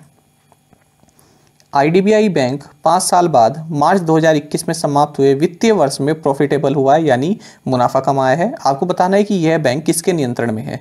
ऑप्शंस आपके सामने है और करेक्ट आंसर होगा option B so friends LIC के नियंत्रण में है। तो देखिए L controlled IDBI Bank turned profitable in the fiscal ended in March 2021 after 5 years, posting a net profit of rupees 1359 crore for the year. तो friends, जो मार्च 2021 में जो फ़िज़िकल समाप्त हुआ है, इसमें तेरह करोड़ रुपए का इससे प्रॉफिट हुआ है। और आपको बता दें कि 2019-20 में इसको बारह करोड़ का लॉस हुआ था। और जो हमारा पिछले साल का ये 2020-21 का जो जो हमारा लास्ट क्वार्टर रहा है, इसमें इस बैंक ने 512 करोड़ रुपए का प्रॉफिट जो है दर्ज किया था। बात करते हैं फ्रेंड्स इस आईडीबीआई बैंक की, यानी Industrial Development Bank of India की। तो ये Life Insurance Corporation of India यानी एलआईसी की सब्सिडरी है। या आप इसको कह सकते हैं एलआईसी इसकी पेरेंट ऑर्गेनाइजेशन है। और एक जुलाई उन्नीस सौ चौंसठ को इसकी स्थापना की गई थी। इसका हेडक्वार्टर्स मुंबई में है। और आईडीबीआई बैंक के चेयरमैन है एम आर कुमार, जो कि LIC के चेयरमैन है। ठीक है? और जो आईडीबीआई बैंक है, इसके एमडी एंड सीईओ हैं राकेश शर्मा। ये आपको जानना चाहिए। न्यायमूर्ति सेवानिवृत्त पीसी पंत को किस गैर संवैधानिक निकाय के कार्यकारी अध्यक्ष के रूप में नियुक्त किया गया है? ऑप्शंस आपके सामने है और करेक्ट आंसर होगा option D so justice retired P C Pant has been appointed as the acting chairperson of National Human Rights Commission तो प्रेसिडेंट ऑफ़ इंडिया पहले आप, पहली बात तो आपको ये जानना चाहिए किसके द्वारा अपॉइंट किए गए हैं? प्रेसिडेंट ऑफ़ इंडिया के द्वारा अपॉइंट किए गए हैं जस्टिस प्रफुल्ला चंद्र पंत ठीक है? उत्तराखंड के हैं, मेरी स्टेट के हैं। तो आपको ये जानना चाहिए कि अभी तक जो है N H N H R C मतलब यही ह्यूमन राइट्स कमीशन जो है, इसके मेंबर थे। तो अब इनको कहा है कि आप जो है एक्टिंग चेयरपर्सन के रूप में यहाँ कार्यभार संभालिए। अच्छा अगर हम बात करें नेशनल ह्यूमन राइट्स कमीशन की फ्रेंड्स काफ़ी इंपॉर्टेंट है। तो आपको बता दें कि ये कॉन्स्टिट्यूशनल बॉडी नहीं है। ठीक है कॉन्स्टिट्यूशनल बॉडी नहीं है मतलब इसका जो हमारा संविधान है, उसके द्वारा सेटअप नहीं किया गया है, उसमें इसका उल्लेख नहीं मिलता है। इसको जो है protection of human rights act 1993 के तहत जो है, इसका स्थापना की गई थी। और ये एक मल्टी मेंबर बॉडी है, जिसमें कि एक चेयरपर्सन होता है और फाइव मेंबर्स होते हैं। अच्छा अब ये जानिए कि जो ये चेयरपर्सन और मेंबर्स हैं, इनको प्रेसिडेंट द्वारा अपॉइंट किया जाता है। किसकी रिकमेंडेशन पर? जो सिक्स मेंबर कमेटी होती है, उसकी रिकमेंडेशन पर।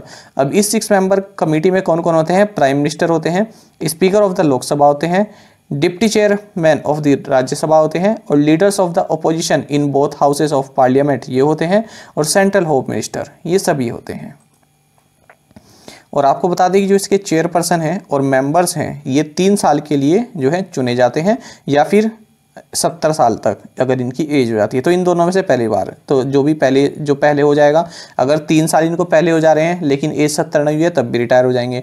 अगर सत्तर साल की एज हो गई है, और अभी कार्यकाल को केवल एक ही साल हुआ है, तब भी ये रिटायर हो जाएँगे। इसका मतलब ये है। आगे बढ़ते हैं। भारत की पीवी सिंधु और किस देश की मिशेल ली को अंतर्राष्ट्रीय ओलंपिक समिति के बिलीव इन स्पोर्ट अभियान के लिए एथलीट राजदूत के रूप में नामित किया गया है? ऑप्शंस आपके सामने हैं और करेक्ट आंसर होगा ऑप्शन सी। तो फ्रेंड्स, जो ये पीवी सिंधु है, ये तो भारत की आपको पता है, मिशेल ली तो ये जो है कनाडा की है, ठीक है? यही क्वेश्चन में पूछा गया था। तो इन दोनों को जो है, बिलीव इन स्पोर्ट कैंपेन, इसके लिए एथलीट अम्बेसडर के रूप में नियुक्त किया गया है। और दोनों ही बैडमिंटन से रिलेटेड हैं। साथ ही आपको बता दें कि ये दोनों आई एम बैडमिंटन कैंपेन इससे भी जुड़ी हुई हैं। ये कैंपेन किससे रिलेटेड है? बैडमिंटन वर्ल्ड फेडरेशन का ही ये कैंपेन है। आई एम बैडमिंटन इससे भी ये दोनों जुड़ी हुई है। यूनाइटेड किंगडम ने भारतीय कंपनियों द्वारा वन बिलियन पाउंड के निवेश शोधों की घोषणा की है, जिसमें किस कंपनी ने 240 मिलियन पाउंड का निवेश शामिल है, जिसमें किस कंपनी से 240 मिलियन पाउंड का निवेश शामिल है? ठीक है फ्रेंड्स, देखिए तो इसका आंसर होगा option D, serum institute of India. समझते हैं इस क्वेश्चन को क्या है? देखिए तो ब्रिटिश गवर्नमेंट ने जो है भारत के साथ एक इन्वेस्टमेंट डील को जो है फाइनलाइज किया है, ठीक है, जिसमें कि वन बिलियन पाउंड ये जो जी बी पी लिखा है ना फ्रेंड्स, इसकी फुल फॉर्म होती है ब्रिटिश पाउंड स्टर्लिंग ये याद रखिएगा, ठीक है? ब्रिटिश पाउंड स्टर्लिंग इसका मतलब होता है। तो वन बिलियन पाउंड की एक इन्वेस्टमेंट डील जो है भारत के साथ साइन की है, जिसके तहत पैंसठ सौ जॉब्स जो हैं ब्रिटेन में जो है जनरेट होंगी।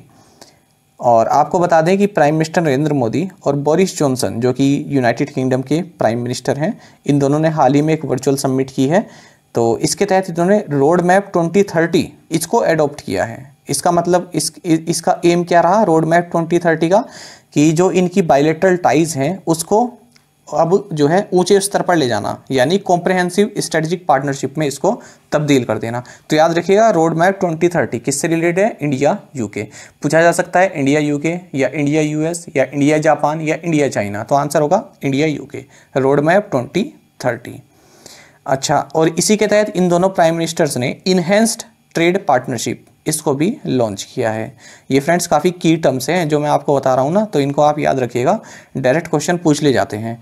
अब जो ये इन्हेंस्ड ट्रेड पार्टनरशिप है, इसका मकसद क्या है कि यूनाइटेड किंगडम और इंडिया के बीच में जो ट्रेड है, उसको 2030 तक डबल कर देना। अच्छा और इसमें फ्रेंड जैसे कि मैंने आपको क्वेश्चन बताया था ये क्वेश्चन बताया था कि वन बिलियन पाउंड की एक जो है ट्रेड डील साइन हुई है। तो इसके तहत जो भारत का सीरम इंस्टीट्यूट ऑफ़ इंडिया है, ये यूनाइटेड किंगडम में 240 मिलियन पाउंड की इन्वेस्टमेंट के साथ यहाँ पर अपना वैक्सीन बिज़नेस जो है फैलाएगा। ठीक है, इसको स्प्रेड करेगा। ठीक है तो याद रखिए, क्वेश्चन हमारा यही था कि कौन सा इंस्टीट्यूट जो है यूनाइटेड किंगडम में 240 मिलियन पाउंड की इन्वेस्टमेंट करेगा तो आंसर होगा सीरम इंस्टीट्यूट ऑफ़ इंडिया। और फ्रेंड्स, जैसा कि मैंने आपको अभी इस क्वेश्चन की मैं आप, आपने देखा होगा कि एक हाउस बना हुआ था, ठीक है? तो वो डाउनिंग स्ट्रीट पर है। डाउनिंग स्ट्रीट क्या है? ये यूनाइटेड किंगडम के जो प्रेसिडेंट हैं, ऐसा माफ़ कीजिएगा, जो प्राइम मिनिस्टर हैं, उनका ऑफ़िस और उनका ऑफिशियल रेजिडेंस होता है, ठीक है? तो यहीं पर जो है इनका घर होता है ऑफ़िस होता है, जो कि आपने इस क्वेश्चन के उसमें देखा होगा स्टार्टिंग में, ठीक है? तो ये डाउनिंग स्ट्रीट पर ही है। पूछ लिया जाता है फ्रेंड्स ये क्वेश्चन कई बार पूछा गया है, अब तो ये क्वेश्चन पुराना हो गया है। ठीक है, पहले काफ़ी पूछा जाता था। अब भी जो एमटीएस वाले एग्ज़ाम होते हैं, उनमें पूछ लिए जाते हैं। शतरंज खिलाड़ी मैग्नस कार्लसन किस देश से हैं? ऑप्शंस आपके सामने हैं और करेक्ट आंसर होगा ऑप्शन सी तो ये नॉर्वे से हैं। किस लिए न्यूज़ में है? Magnus Carlsen wins new in chess classic तो फ्रेंड जो ये मैग्नस कार्लसन हैं, काफ़ी अव्वल दर्जे के जो हैं शतरंज खिलाड़ी हैं तो इन्होंने new in chess classic rapid online title जो है जीता है।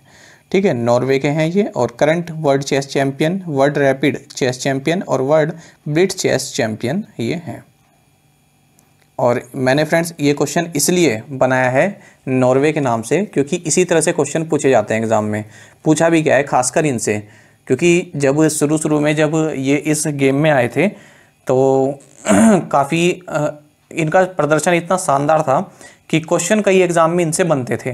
तो सीधे सीधे यही पूछा जा सकता कि मैग्नस कार्लसन जो हैं, ये किस देश से हैं? ठीक है तो ये आप याद रखिएगा, नॉर्वे से हैं और इसी फॉर्मेट में क्वेश्चन पूछे गए हैं पहले भी। आगे बढ़ते हैं। महाद्वीपीय कोटा के माध्यम से क्वालिफाई करने के बाद भारत की कौन सी महिला जिम्नास्ट टोक्यो ओलंपिक में भाग लेगी? ऑप्शन आपके सामने हैं और आपका सही आंसर होगा इसमें ऑप्शन सी प्रणति नायक।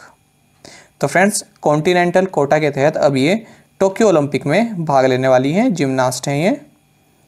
जैसे कि यहाँ लिखा है, इंडियन जिम्नास्ट प्रणति नायक और वेस्ट बंगाल से हैं फ्रेंड्स ये, ठीक है? तो अब ये जो है टोक्यो ओलंपिक में भाग लेने वाली हैं कॉन्टिनेंटल कोटा के थ्रू। जगमोहन मल्होत्रा, जिनका हाल ही में निधन हो गया, किस राज्य के पूर्व राज्यपाल थे? ऑप्शंस आपके सामने हैं और करेक्ट आंसर होगा ऑप्शन डी। सो फ्रेंड्स ये गोवा के भी राज्यपाल रहे हैं और जम्मू एंड कश्मीर जब स्टेट हुआ करता था, अब तो क्योंकि यूटी है, ठीक है तो जब ये स्टेट था तब यहाँ पर राज्यपाल का पद था, ठीक है तो जम्मू एंड कश्मीर और गोवा, इन दोनों के ही राज्यपाल ये रह चुके हैं। तो काफ़ी जो है पॉलिटिक्स में काफ़ी बड़ा नाम था इनका, जगमोहन जी का यूनियन मिनिस्टर भी रह चुके हैं, और जो है ये फॉर्मर सिविल सर्वेंट थे, और जम्मू एंड कश्मीर और गोवा के गवर्नर थे, साथ ही दिल्ली के ये लेफ्टिनेंट गवर्नर भी रह चुके हैं। और जम्मू एंड कश्मीर में दो बार ये जो हैं गवर्नर रहे हैं। और आपको बता दें, देखिए, पद्मश्री पद्म भूषण और पद्म विभूषण तीनों से इनको सम्मानित किया जा चुका था। तो काफ़ी इंपॉर्टेंट क्वेश्चन है फ्रेंड्स क्योंकि पर्सनैलिटी ही कुछ ऐसी है ये। आगे बढ़ते हैं। थिसारा परेरा, जिन्होंने हाल ही में अंतर्राष्ट्रीय क्रिकेट से संन्यास की घोषणा की, किस देश के लिए खेले? ऑप्शंस आपके सामने हैं और करेक्ट आंसर होगा option C. Thisara Perera who recently announced his retirement from international cricket played for Sri Lanka ठीक है फ्रेंड्स अच्छा ये स्टेट्स तो याद रखने ज़रूरी नहीं है। ठीक है? ये इसलिए प्रोवाइड करा जा, कराए जाते हैं कि क्वेश्चन का एक जो है आप भी देखें तो एक एक लय बन जाती है क्वेश्चन की, है ना? कि हाँ एक प्लेयर के बारे में डिस्कस किया है तो उसके स्टेट्स भी यहाँ पर प्रोवाइड करा दिए गए हैं। ठीक है? ये सब आपको याद करने की ज़रूरत नहीं है कि कितने टेस्ट खेले थे या क्या था। हाँ अगर होता है इंडियन प्लेयर की बात होती, तब वहाँ पर इंपॉर्टेंट हो जाते हैं। ठीक है? कि इन्होंने कितने टोटल मैचेस खेले थे या कितने रन बनाए थे, इस तरह से भी रेयर कंडीशन में पूछ ले जाते हैं कभी। निम्नलिखित में से कौन मोटरवे पर स्व ड्राइविंग वाहनों के उपयोग को विनियमित करने वाला पहला देश बना है? ऑप्शन आपके सामने हैं और करेक्ट आंसर होगा option A. So United Kingdom became the first country to regulate the use of self driving vehicles on motorways English में आपको ज़्यादा अच्छे समझ में आया होगा ये वाला question so friends United Kingdom पहला देश बन गया है जो मोटरवेज पर स्लो स्पीड में चलाई जाने वाली सेल्फ ड्राइविंग व्हीकल्स को रेगुलेट करेगा। अगर हम यूनाइटेड किंगडम की बात करें तो फ्रेंड्स तो हाल ही में चर्चा में है, किस लिए? देखिए, यहाँ के जो प्राइम मिनिस्टर हैं बोरिस जॉनसन इन्होंने इंडिया के साथ वन बिलियन पाउंड की एक ट्रेड डील साइन की है। साथ ही यूनाइटेड किंगडम ने जी सेवन फॉरेन मिनिस्टर्स की मीटिंग को होस्ट किया है। साथ ही यूनाइटेड किंगडम आने वाले जो जून का महीना है, इसमें जी सेवन लीडर्स की मीटिंग को भी होस्ट करेगा। जी सेवन में कौन कौन से देश हैं? United Kingdom Canada France Germany Italy Japan US and European Union Bharat इसका हिस्सा नहीं है, लेकिन फ्रेंड्स इस मीटिंग में भारत को ऑस्ट्रेलिया को और साउथ कोरिया को। इन तीनों को ही यहाँ पर इनवाइट किया गया है, ये आप याद रखिएगा, ठीक है? क्वेश्चन इस तरह से बन सकता है, चार ऑप्शन आपके पास दे दी जाए, और ये पूछा जा सकता है कि निम्नलिखित में से किस देश को जी सेवन कंट्रीज़ में इन्वाइट नहीं किया गया है, ठीक है? तो उसमें तीन ऑप्शन होंगे आपके इंडिया ऑस्ट्रेलिया साउथ कोरिया और चौथी कंट्री हो सकती है न्यूजीलैंड ठीक है? तो आपको वही मार्क करना है, उसको नहीं बुलाया गया है।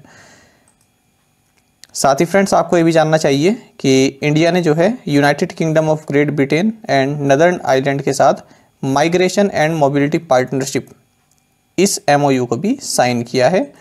और साथ ही इंडिया और यूनाइटेड किंगडम ने ग्लोबल इनोवेशन पार्टनरशिप इस एमओयू पर भी साइन किया है।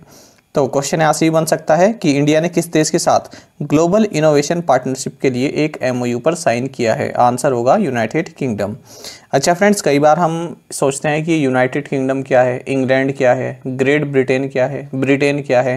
तो फ्रेंड्स इसका डाउट क्लियर कर लेते हैं। देखिए, पहली बात तो ये जान लीजिए कि ग्रेट ब्रिटेन और ब्रिटेन एक ही शब्द है, ठीक है? अच्छा अब देखिए ग्रेट ब्रिटेन में तीन कंट्रीज़ हैं। स्कॉटलैंड वेल्स और इंग्लैंड ठीक है? अब आप स्कॉटलैंड, वेल्स, इंग्लैंड, इन तीनों कंट्रीज़ को आपने कहा ग्रेट ब्रिटेन अब इन तीनों कंट्रीज़ में आप नदर्न आइलैंड को भी ऐड कर लीजिए। अब जब आपने इन ऐड कर लिया, अब ये चार कंट्रीज़ बन गई। इन चार कंट्रीज़ को मिलाकर बनता है यूनाइटेड किंगडम या फिर आप ऐसे कह सकते हैं Great Britain plus Northern island ये है यूनाइटेड किंगडम ठीक है? तो यूनाइटेड किंगडम हमारा क्या हुआ? Great Britain plus Northern island, और ग्रेट ब्रिटेन क्या हुआ? ओनली स्कॉटलैंड वेल्स और इंग्लैंड और आयरलैंड तो दो हैं ही रिपब्लिक ऑफ़ आयरलैंड है एक, और एक नदर्न आयरलैंड है। लेकिन जो नदर्न आयरलैंड है, वो यूनाइटेड किंगडम का पार्ट है। आई होप आपको समझ में आ गया होगा, इससे भी आप देख सकते हैं। ग्रेट ब्रिटेन में क्या है? स्कॉटलैंड इंग्लैंड और वेल्स अब इस वेल्स में नदर्न आइलैंड को अगर आप ऐड कर दें तो ये बन जाता है यूनाइटेड किंगडम आगे बढ़ते हैं। हाल ही में सुप्रीम कोर्ट ने किस राज्य के रियल इस्टेट कानून को असंवैधानिक घोषित किया है? ऑप्शंस आपके सामने हैं और करेक्ट आंसर होगा option D. So, West Bengal's real estate law has recently been struck down by the Supreme Court. देखिए, West Bengal housing industry regulation act 2017 ये तो है वेस्ट बंगाल का एक रियल इस्टेट एक्ट। ठीक है? अच्छा एक है सेंट्रल गवर्नमेंट का, real estate regulation and development act, जिसे रेरा भी बोलते हैं 2016 तो सुप्रीम कोर्ट का कहना है कि जो ये वेस्ट बंगाल का रियल इस्टेट एक्ट है ये सेंट्रल गवर्नमेंट का जो एक्ट है, इसके साथ जो है काफ़ी मिलता जुलता है और इस वजह से सेंट्रल गवर्नमेंट के कानून के साथ इसमें विरोध की स्थिति पैदा हो सकती है। ठीक है फ्रेंड्स, क्योंकि देखिए हमेशा जब भी इस तरह की कंडीशन आती है तो सेंट्रल गवर्नमेंट का जो एक्ट होता है, जो पार्लियामेंट द्वारा पास किया जाता है, उसको तवज्जो दी जाती है, उसको ऊपर रखा जाता है। तो इसीलिए सुप्रीम कोर्ट ने कहा है कि आगे टकराव हो सकता है, इसलिए जो है ये सेंट्रल गवर्नमेंट का जो एक्ट है, इसके एक अतिक्रमण करने जैसा है। तो इसलिए सुप्रीम कोर्ट ने इसे असंवैधानिक बताया है। वेस्ट बंगाल की बात करें तो सीएम है ममता बनर्जी, गवर्नर है जगदीप धनखड़, कैपिटल है कोलकाता। वेस्ट बंगाल हाल ही में किस लिए चर्चा में है? क्योंकि वेस्ट बंगाल में वाटरवेज को इम्प्रूव करने के लिए वर्ल्ड बैंक ने 105 मिलियन यूएस डॉलर का लोन जो है देने की घोषणा की है। ये हमने एम फॉर्मेट में किया था, यहाँ पर आपके रिविज़न पर्पज़ के लिए बताए जा रहे हैं।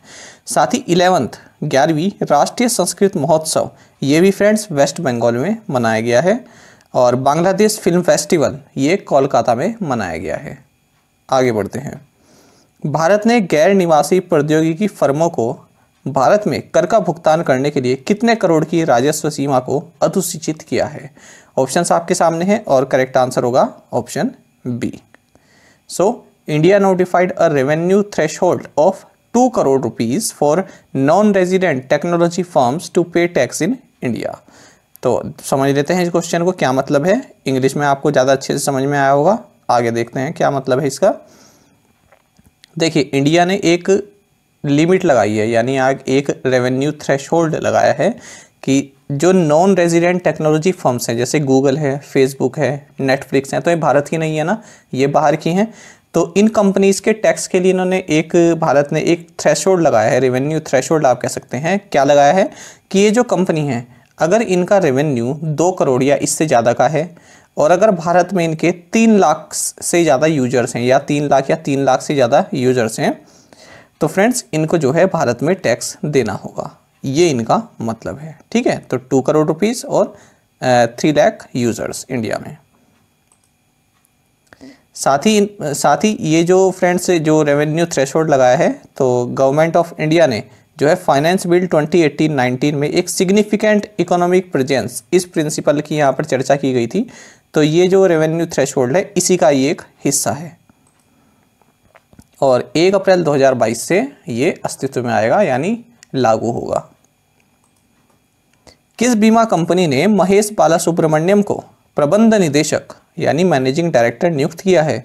ऑप्शंस आपके सामने हैं और करेक्ट आंसर होगा option B so Kotak Mahindra life insurance has appointed Mahesh Bala Subramanyam as managing director और तीन साल के लिए किया गया है फ्रेंड्स और इन, ये किसे रिप्लेस करेंगे? क्योंकि जी मुरलीधर, ये रिटायर हो चुके हैं तो अब इनकी जगह ये लेंगे। और कोटक लाइफ इंश्योरेंस का हेडक्वार्टर्स मुंबई, महाराष्ट्र में है। निम्नलिखित में से किसने central bank and supervisors network for greening financial system में शामिल किया गया है? निम्नलिखित में से किसे central bank and supervisor network for greening financial system में शामिल किया गया है? ऑप्शन आपके सामने हैं और करेक्ट आंसर होगा option A. So, Reserve Bank of India has joined the central bank and supervisors network for greening the financial system friends term देख रहे हैं ग्रीनिंग द फाइनेंशियल सिस्टम यानी फाइनेंशियल सिस्टम को जो है ग्रीनिंग करना। इसका मतलब समझेंगे ग्रीनिंग का मतलब आखिर है क्या?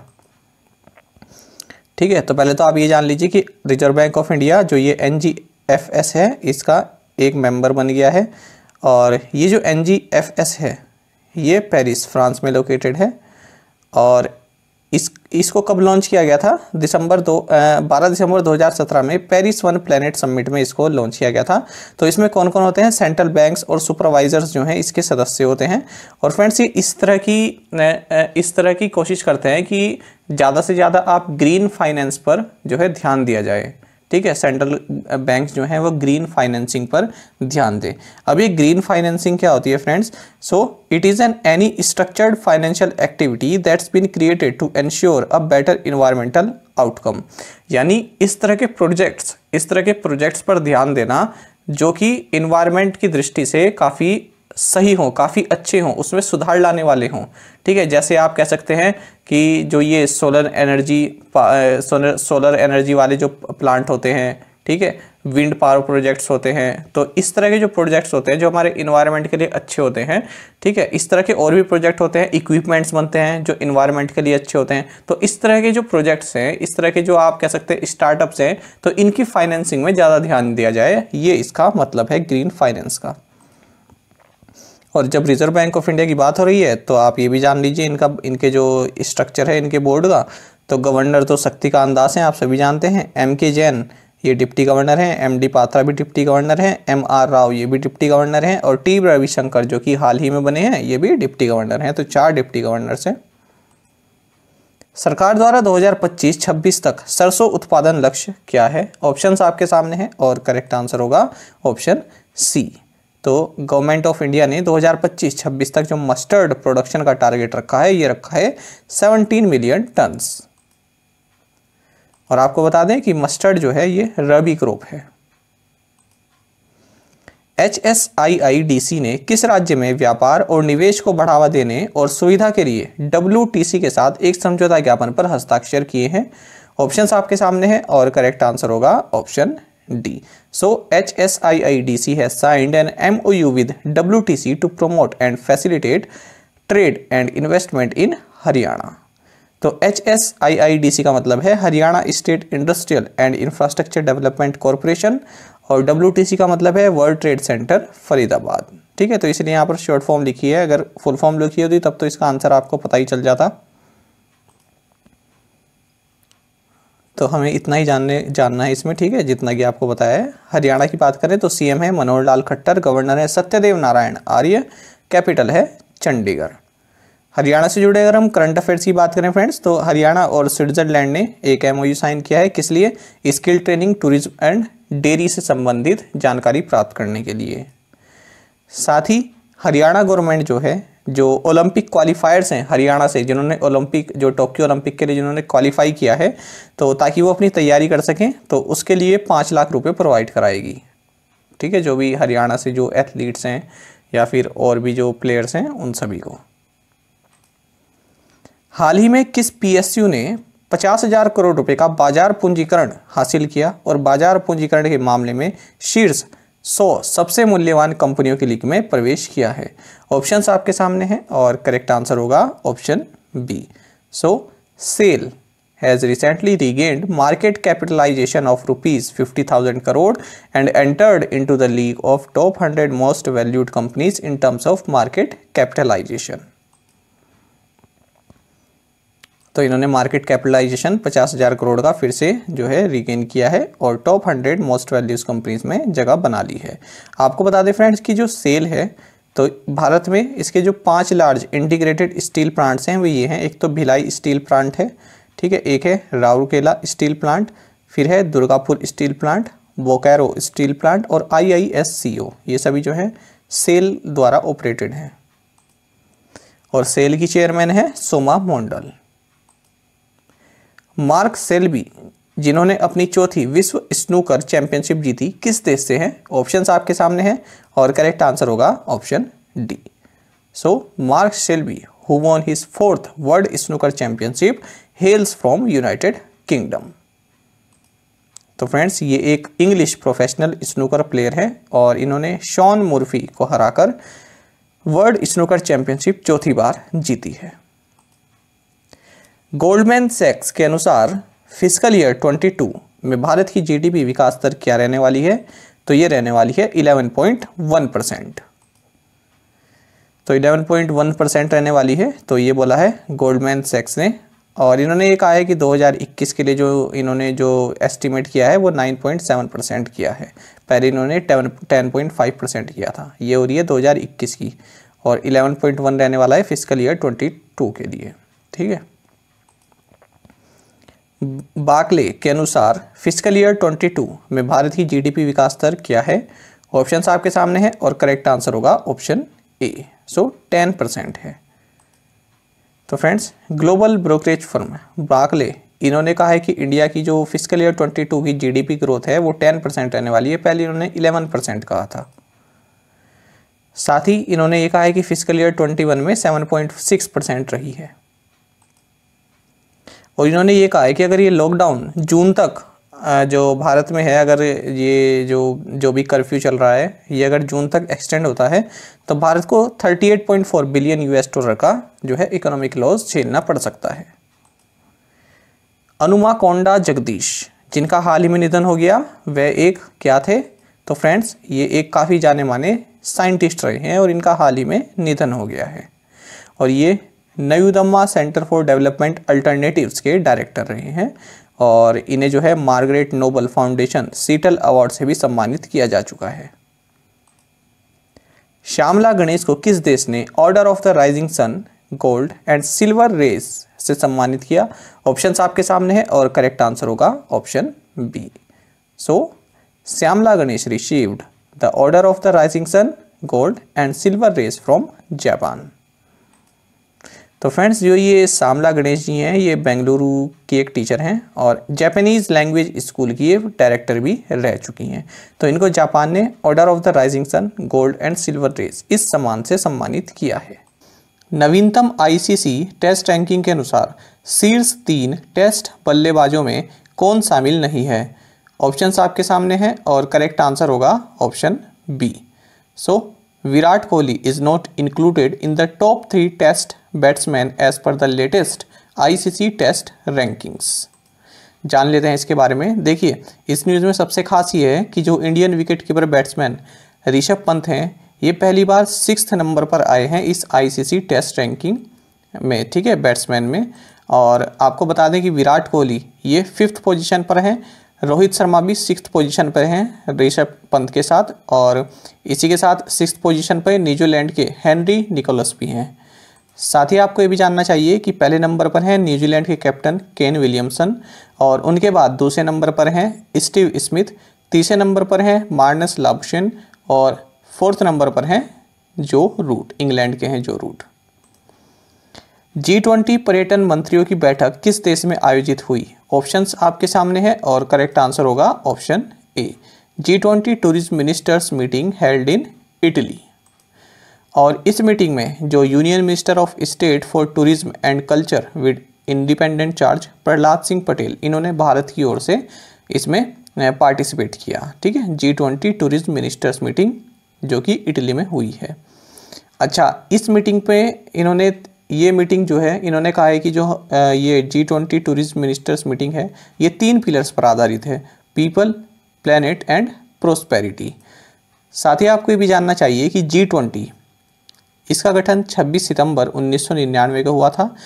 19 कंट्रीज़ शामिल हैं, साथ ही यूरोपियन यूनियन भी इसमें शामिल है। कौन कौन सी कंट्रीज़ हैं? Argentina, Australia, Brazil, Canada, China, Germany, France, India Indonesia, Italy, Japan, Mexico, Russian Federation, Saudi Arabia, South Africa, South Korea, Turkey, United Kingdom and United States. तो याद रखिएगा जी ट्वेंटी में भारत शामिल है, लेकिन जी सेवन में भारत शामिल नहीं है। और आगे बढ़ते हैं। अच्छा फ्रेंड्स, ये जो एक स्टेटमेंट आप देख रहे हैं ये फ्रेंड्स काफ़ी इंपॉर्टेंट है। अगर आप किसी पीसीएस एग्ज़ाम की तैयारी कर रहे हैं या फिर सिविल सर्विसेज़ की एग्ज़ाम की तैयारी कर रहे हैं तो जो मल्टी स्टेटमेंट क्वेश्चंस आते हैं, उनमें इस तरह से पूछ लिया जाता है। तो याद रखिएगा, वैसे भी आपको देखिए जानना चाहिए इस तरह की जो फैक्ट्स होते हैं। जी ट्वेंटी कंट्रीज़ जो हैं तो इनकी जो पॉपुलेशन है, ये वर्ल्ड पॉपुलेशन की 60 परसेंट है, यानी ये सभी जो है कंट्रीब्यूट करते हैं 60 परसेंट पॉपुलेशन और ग्लोबल ट्रेड में इन सभी कंट्रीज़ का हिस्सा 75 परसेंट है और ग्लोबल जीडीपी में इन सभी कंट्रीज़ का जो हिस्सा है, ये 80 परसेंट है। ये आपको जानना चाहिए। इटली की अगर बात करें तो यहाँ की कैपिटल है रोम। प्रेजिडेंट है सर्जियो मेटेरियोला प्राइम मिनिस्टर है मारियो द्रागी और आपको ये जानना चाहिए कि इटली के पास जो है G twenty twenty twenty one की प्रेसिडेंसी है, ठीक है? तो अगर क्वेश्चन ये आए कि G twenty twenty twenty one की प्रेसिडेंसी किस कंट्री के पास है तो आंसर होगा इटली। आगे बढ़ते हैं। मिशन सेव लाइफ्स किस शहर में शुरू किया गया? ऑप्शंस आपके सामने हैं और करेक्ट आंसर होगा option B mission save lifes has been started in Mumbai तो देखिए, इसको मुंबई में आपको पता होगा कि जिस तरह से कोविड नाइन्टीन के कारण मृत्यु दर बढ़ रही है तो उसे देखते हुए बृहन मुंबई म्यूनिसिपल कॉरपोरेशन यानी बीएमसी इसकी फुल फॉर्म भी फ्रेंड्स आप याद रखिएगा, इसने मिशन सेव लाइव्स इसको जो है प्रोग्राम को शुरू किया है। तो इसके तहत इस बात पर ज़ोर दिया जा रहा है कि जो भी कोविड पेशेंट्स हैं, उनको प्रोन पोजीशन इसके बारे में बताया जाए और इस पोजीशन में उनको लेटने के लिए कहा जाए। ये होती है फ्रेंड्स प्रोन पोजीशन ठीक है? प्रोनिंग बोलते हैं इसको। तीन पिलोज यूज़ करके इस तरह से उल्टा लेट जाते हैं। तो काफ़ी अच्छी ये पोजीशन है और मतलब मानी हुई है। ऐसा नहीं है कि ऐसे ही बातें बातें बनाना है इसमें, ठीक है? और ऑक्सीजन लेवल इसमें वाकई में जो मनुष्य है, जो पेशेंट है, उसका ऑक्सीजन लेवल वाकई में ही बढ़ जाता है, ठीक है? आगे बढ़ते हैं। भारतीय रिज़र्व बैंक लघु वित्त बैंकों को इंडिविजुअल्स और एम एस को उधार देने के लिए कितनी राशि प्रदान करेगा? ऑप्शंस आपके सामने हैं और करेक्ट आंसर होगा option A so rupees ten thousand crore ठीक है?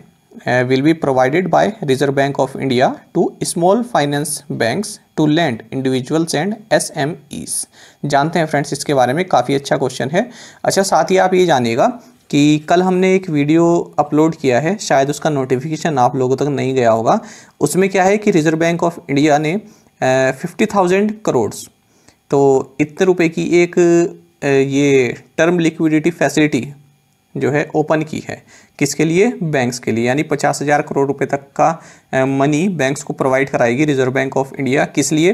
ताकि बैंक्स जो है, उन लोगों को दे सके जो कि एल हेल्थ इंफ्रास्ट्रक्चर बनाना चाहते हैं। जैसे कि कोई अगर हॉस्पिटल्स बनाना चाहता है बेड्स बनाना चाहता है, ठीक है वैक्सीन से रिलेटेड अगर किसी तरह का फंड चाहिए तो फ्रेंड्स ये काफ़ी इंपॉर्टेंट है वीडियो तो उसको आप ज़रूर देख लीजिएगा। कल ही अपलोड की गई है। क्योंकि इसमें कई तरह की चीज़ें बताई गई हैं। एक तो प्राइवेट सेक्टर लोन्स क्या होते हैं? ये इसमें बताया है। ठीक है हमने, और कैश रिज़र्व रेशो बताया स्टेचुटरी लिक्विडिटी रेशो ये आपको बताया गया है। तो ये सभी टर्म इस वीडियो में हमने आपको बताई हैं तो उस वीडियो को आप ज़रूर देख लीजिएगा। तो खैर, इस क्वेश्चन की बात करते हैं कि क्या है ये क्वेश्चन देखिए। रिज़र्व बैंक ऑफ़ इंडिया, जो स्मॉल फाइनेंस बैंक्स हैं, इनको दस हज़ार करोड़ रुपए प्रोवाइड कराएगी तीन साल तक के लिए। ठीक है मतलब मैच्योरिटी पीरियड क्या रहेगा इसका? तीन साल तक के लिए। अच्छा क्यों क्यों प्रोवाइड कराएगी? ताकि जो स्मॉल फाइनेंस बैंक हैं, ये इंडिविजुअल्स और स्मॉल एंड मीडियम एंटरप्राइजेस को लोन प्रोवाइड करा सकें। ठीक है? आप आई होप आपको ये बात समझ में आ गई होगी। आगे देखते हैं।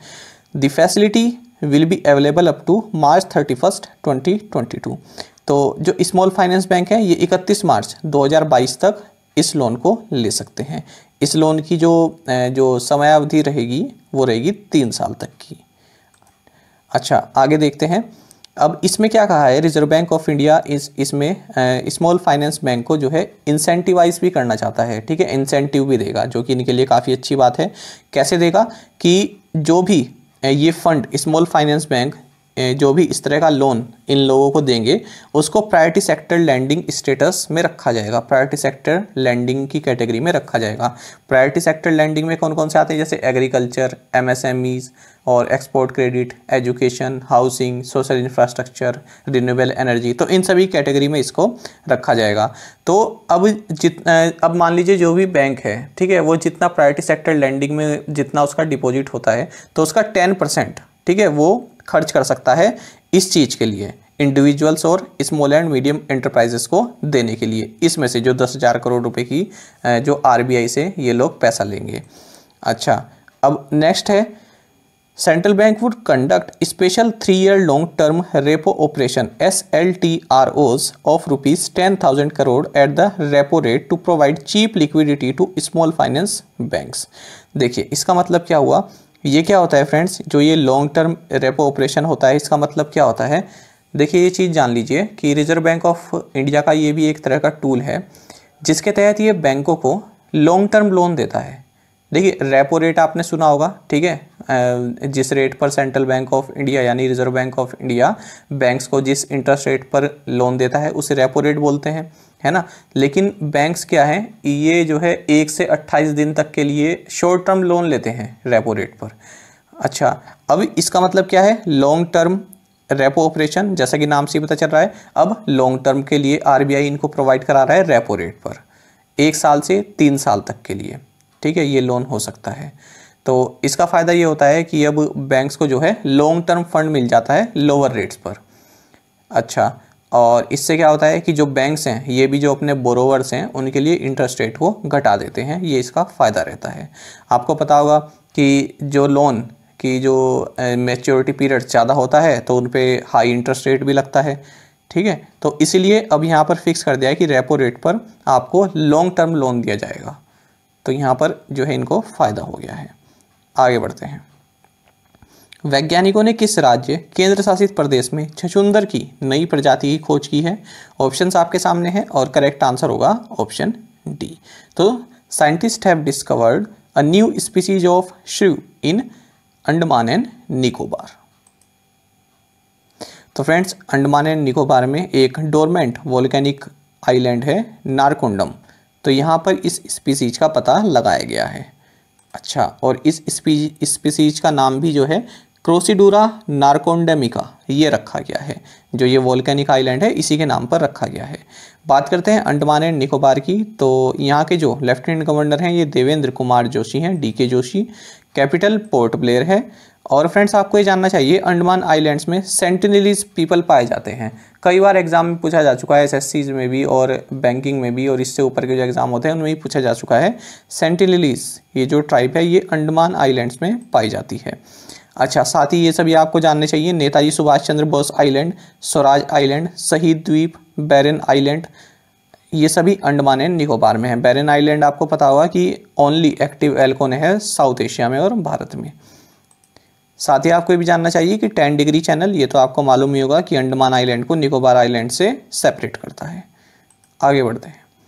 सोरोपोर डायनासोर की 100 मिलियन वर्ष पुरानी हड्डियों को हाल ही में किस राज्य में खोजा गया? ऑप्शंस आपके सामने हैं और करेक्ट आंसर होगा option D. So 100 million year old bones of sauropod dinosaurs were recently discovered in Meghalaya तो मेघालय का जो वेस्ट खासी हिल्स डिस्ट्रिक्ट है, यहाँ पर ये पाई गई है। किसके द्वारा? जियोलॉजिकल सर्वे ऑफ़ इंडिया के द्वारा। इस तरह के क्वेश्चन में फ्रेंड्स केवल इतनी जानकारी हमारे लिए आवश्यक होती है कि कहाँ पर पाया गया है, ठीक है? बाकी का और इसकी डिटेल के लिए वो जो यूपीएससी के एस्पिरेंट्स होते हैं, उनके लिए रहता है। हमारे लिए केवल इतना ही जानना ज़रूरी है। मेघालय की बात करें तो कैपिटल है शिलोंग। अच्छा ये भी आप जानिएगा, शिलोंग को स्कॉटलैंड ऑफ़ द ईस्ट बोलते हैं। ये क्वेश्चन भी कई बार एग्ज़ाम में पूछा जा चुका है कि स्कॉटलैंड ऑफ़ ईस्ट के नाम से किसी जाना जाता है? आंसर होगा शिलोंग। गवर्नर की बात करें मेघालय के तो सत्यपाल मलिक हैं। चीफ मिनिस्टर कॉनरेड संगमा है। और आपको बता दें कि मेघालय की जो ऑफिशियल लैंग्वेज है, ये इंग्लिश है। और यहाँ पर नो काली खाई falls Umngot river Balpakram national park Nokrek biosphere reserve Siju sanctuary और बागमारा सेंचुरी ये सभी मेघालय में है। और इसमें खासकर की एक तो बलपक्रम नेशनल पार्क और नौकरेक बायोस्फीयर रिज़र्व। ये आपके लिए इंपॉर्टेंट है। N four four zero K SARS COVID two का एक नया स्ट्रेन किस राज्य में सबसे पहले पाया गया? ऑप्शंस आपके सामने हैं और करेक्ट आंसर होगा ऑप्शन डी तो आंध्र प्रदेश में फ्रेंड्स ये सबसे पहले पाया गया था और फ़िलहाल जो है ये काफ़ी चर्चा में भी है। क्योंकि साइंटिस्ट ने कहा है कि इतना डेंजरस नहीं है। ठीक है? जो डबल म्यूटेंट है, भारत में जो डबल म्यूटेंट पाया गया है, वो काफ़ी इन्फेक्शियस है। ये इतना डेंजरस नहीं है। जानते हैं इसके बारे में? अच्छा ये जो N four four zero K mutation है, इसको ए पी वेरियंट यानी आंध्र प्रदेश वेरियंट भी कहा जाता है और इसको जो है B dot one dot three six variant भी कहा जाता है। और सबसे पहले जून 2020 में आंध्र प्रदेश के कुर्नूल डिस्ट्रिक्ट में इसको इसका पता लगाया गया था। और अब तो ये खैर तेलंगाना, कर्नाटक, छत्तीसगढ़ और महाराष्ट्र में भी पाया गया है। तो फ्रेंड्स, ये इसलिए चर्चा में है क्योंकि जो centre for cellular cellular and molecular biology CCMB के डायरेक्टर हैं राकेश मिश्रा, इन्होंने कहा है कि ये जो ये जो वेरिएंट है, ये अब डिमिनिश होने लग रहा है, यानी खत्म होने लग रहा है और जल्द ही ये डिसअपियर हो जाएगा। आपको बता दें फ्रेंड्स ये दो आप ज़रूर याद रखना कि जो यूके वेरिएंट है इसका नाम है B dot one dot one dot seven और जो भारत में जो डबल म्यूटेंट बन, मिला है है ना जो भारत का जो वेरिएंट है ये है B dot one dot six one seven आगे बढ़ते हैं। S and P global rating के अनुसार वित्त वर्ष 2021-22 के लिए भारत की जीडीपी वृद्धि का पूर्वानुमान क्या है यानी कितनी रहने वाली है ऑप्शन आपके सामने हैं और करेक्ट आंसर होगा option B so S and P global ratings ने कहा है कि फ़िज़िकल ईयर 22 यानी 2020-21 के लिए जो भारत की जीडीपी ग्रोथ है, वो 9.8 परसेंट रहने वाली है। डॉक्टर फिलिपोस मार क्राइसोस्टोम, जिनका हाल ही में निधन हो गया, ये एक प्रसिद्ध क्या थे? ऑप्शंस आपके सामने हैं और करेक्ट आंसर होगा ऑप्शन डी। तो ये एक प्रसिद्ध रिलीजियस लीडर थे। जानते हैं इनके बारे में तो 103 साल की उम्र में इनका हाल ही में निधन हो गया है और प्रधानमंत्री नरेंद्र मोदी ने भी इनके निधन पर शोक व्यक्त किया है। तो इनको जो है क्राइस्टो क्राइसोस्टोम थिरुमेनी और वलिया थिरुमेनी नाम से भी जाना जाता था। और ये जो है मलंकरा मारथोमा सीरियन चर्च, जो कि केरल में है, इसमें बिशप थे। और इनको 2018 में पद्म भूषण से भी सम्मानित किया जा चुका है। तो ये पॉइंट आपके लिए काफ़ी इंपॉर्टेंट है, ठीक है? इस तरह से भी पूछ ले पूछ सकते हैं कि इनको किस सम्मान से सम्मानित किया जा चुका था। तो आंसर होगा पद्म भूषण आगे बढ़ते हैं। चौधरी अजीत सिंह, जिनका हाल ही में निधन हो गया, किस राजनीतिक दल के अध्यक्ष थे? ऑप्शंस आपके सामने हैं और करेक्ट आंसर होगा option A so Chaudhary Ajit Singh who passed away recently was the president of R L D R L D का मतलब है राष्ट्रीय लोक दल। तो इसके ये अध्यक्ष थे और यूनियन मिनिस्टर भी ये पहले रह चुके हैं तो कोविड नाइन्टीन के कारण इनका निधन हो गया है। इनके बारे में जान लेते हैं, काफ़ी इंपॉर्टेंट क्वेश्चन है ये। तो सात बार ये लोकसभा से चुने गए हैं और कहाँ, किस कॉन्स्टिट्यूंसी से? बागपत यूपी से। और जो हमारे पूर्व प्रधानमंत्री रहे हैं, चौधरी चरण सिंह, उनके ये बेटे थे। और सिविल एविएशन मिनिस्टर के रूप में भी ये कार्य कर चुके हैं, इंडस्ट्री मिनिस्टर के रूप में भी कार्य कर चुके हैं, फ़ूड मिनिस्टर के रूप में भी कार्य कर चुके हैं और एग्रीकल्चर मिनिस्टर के रूप में भी कार्य कर चुके हैं।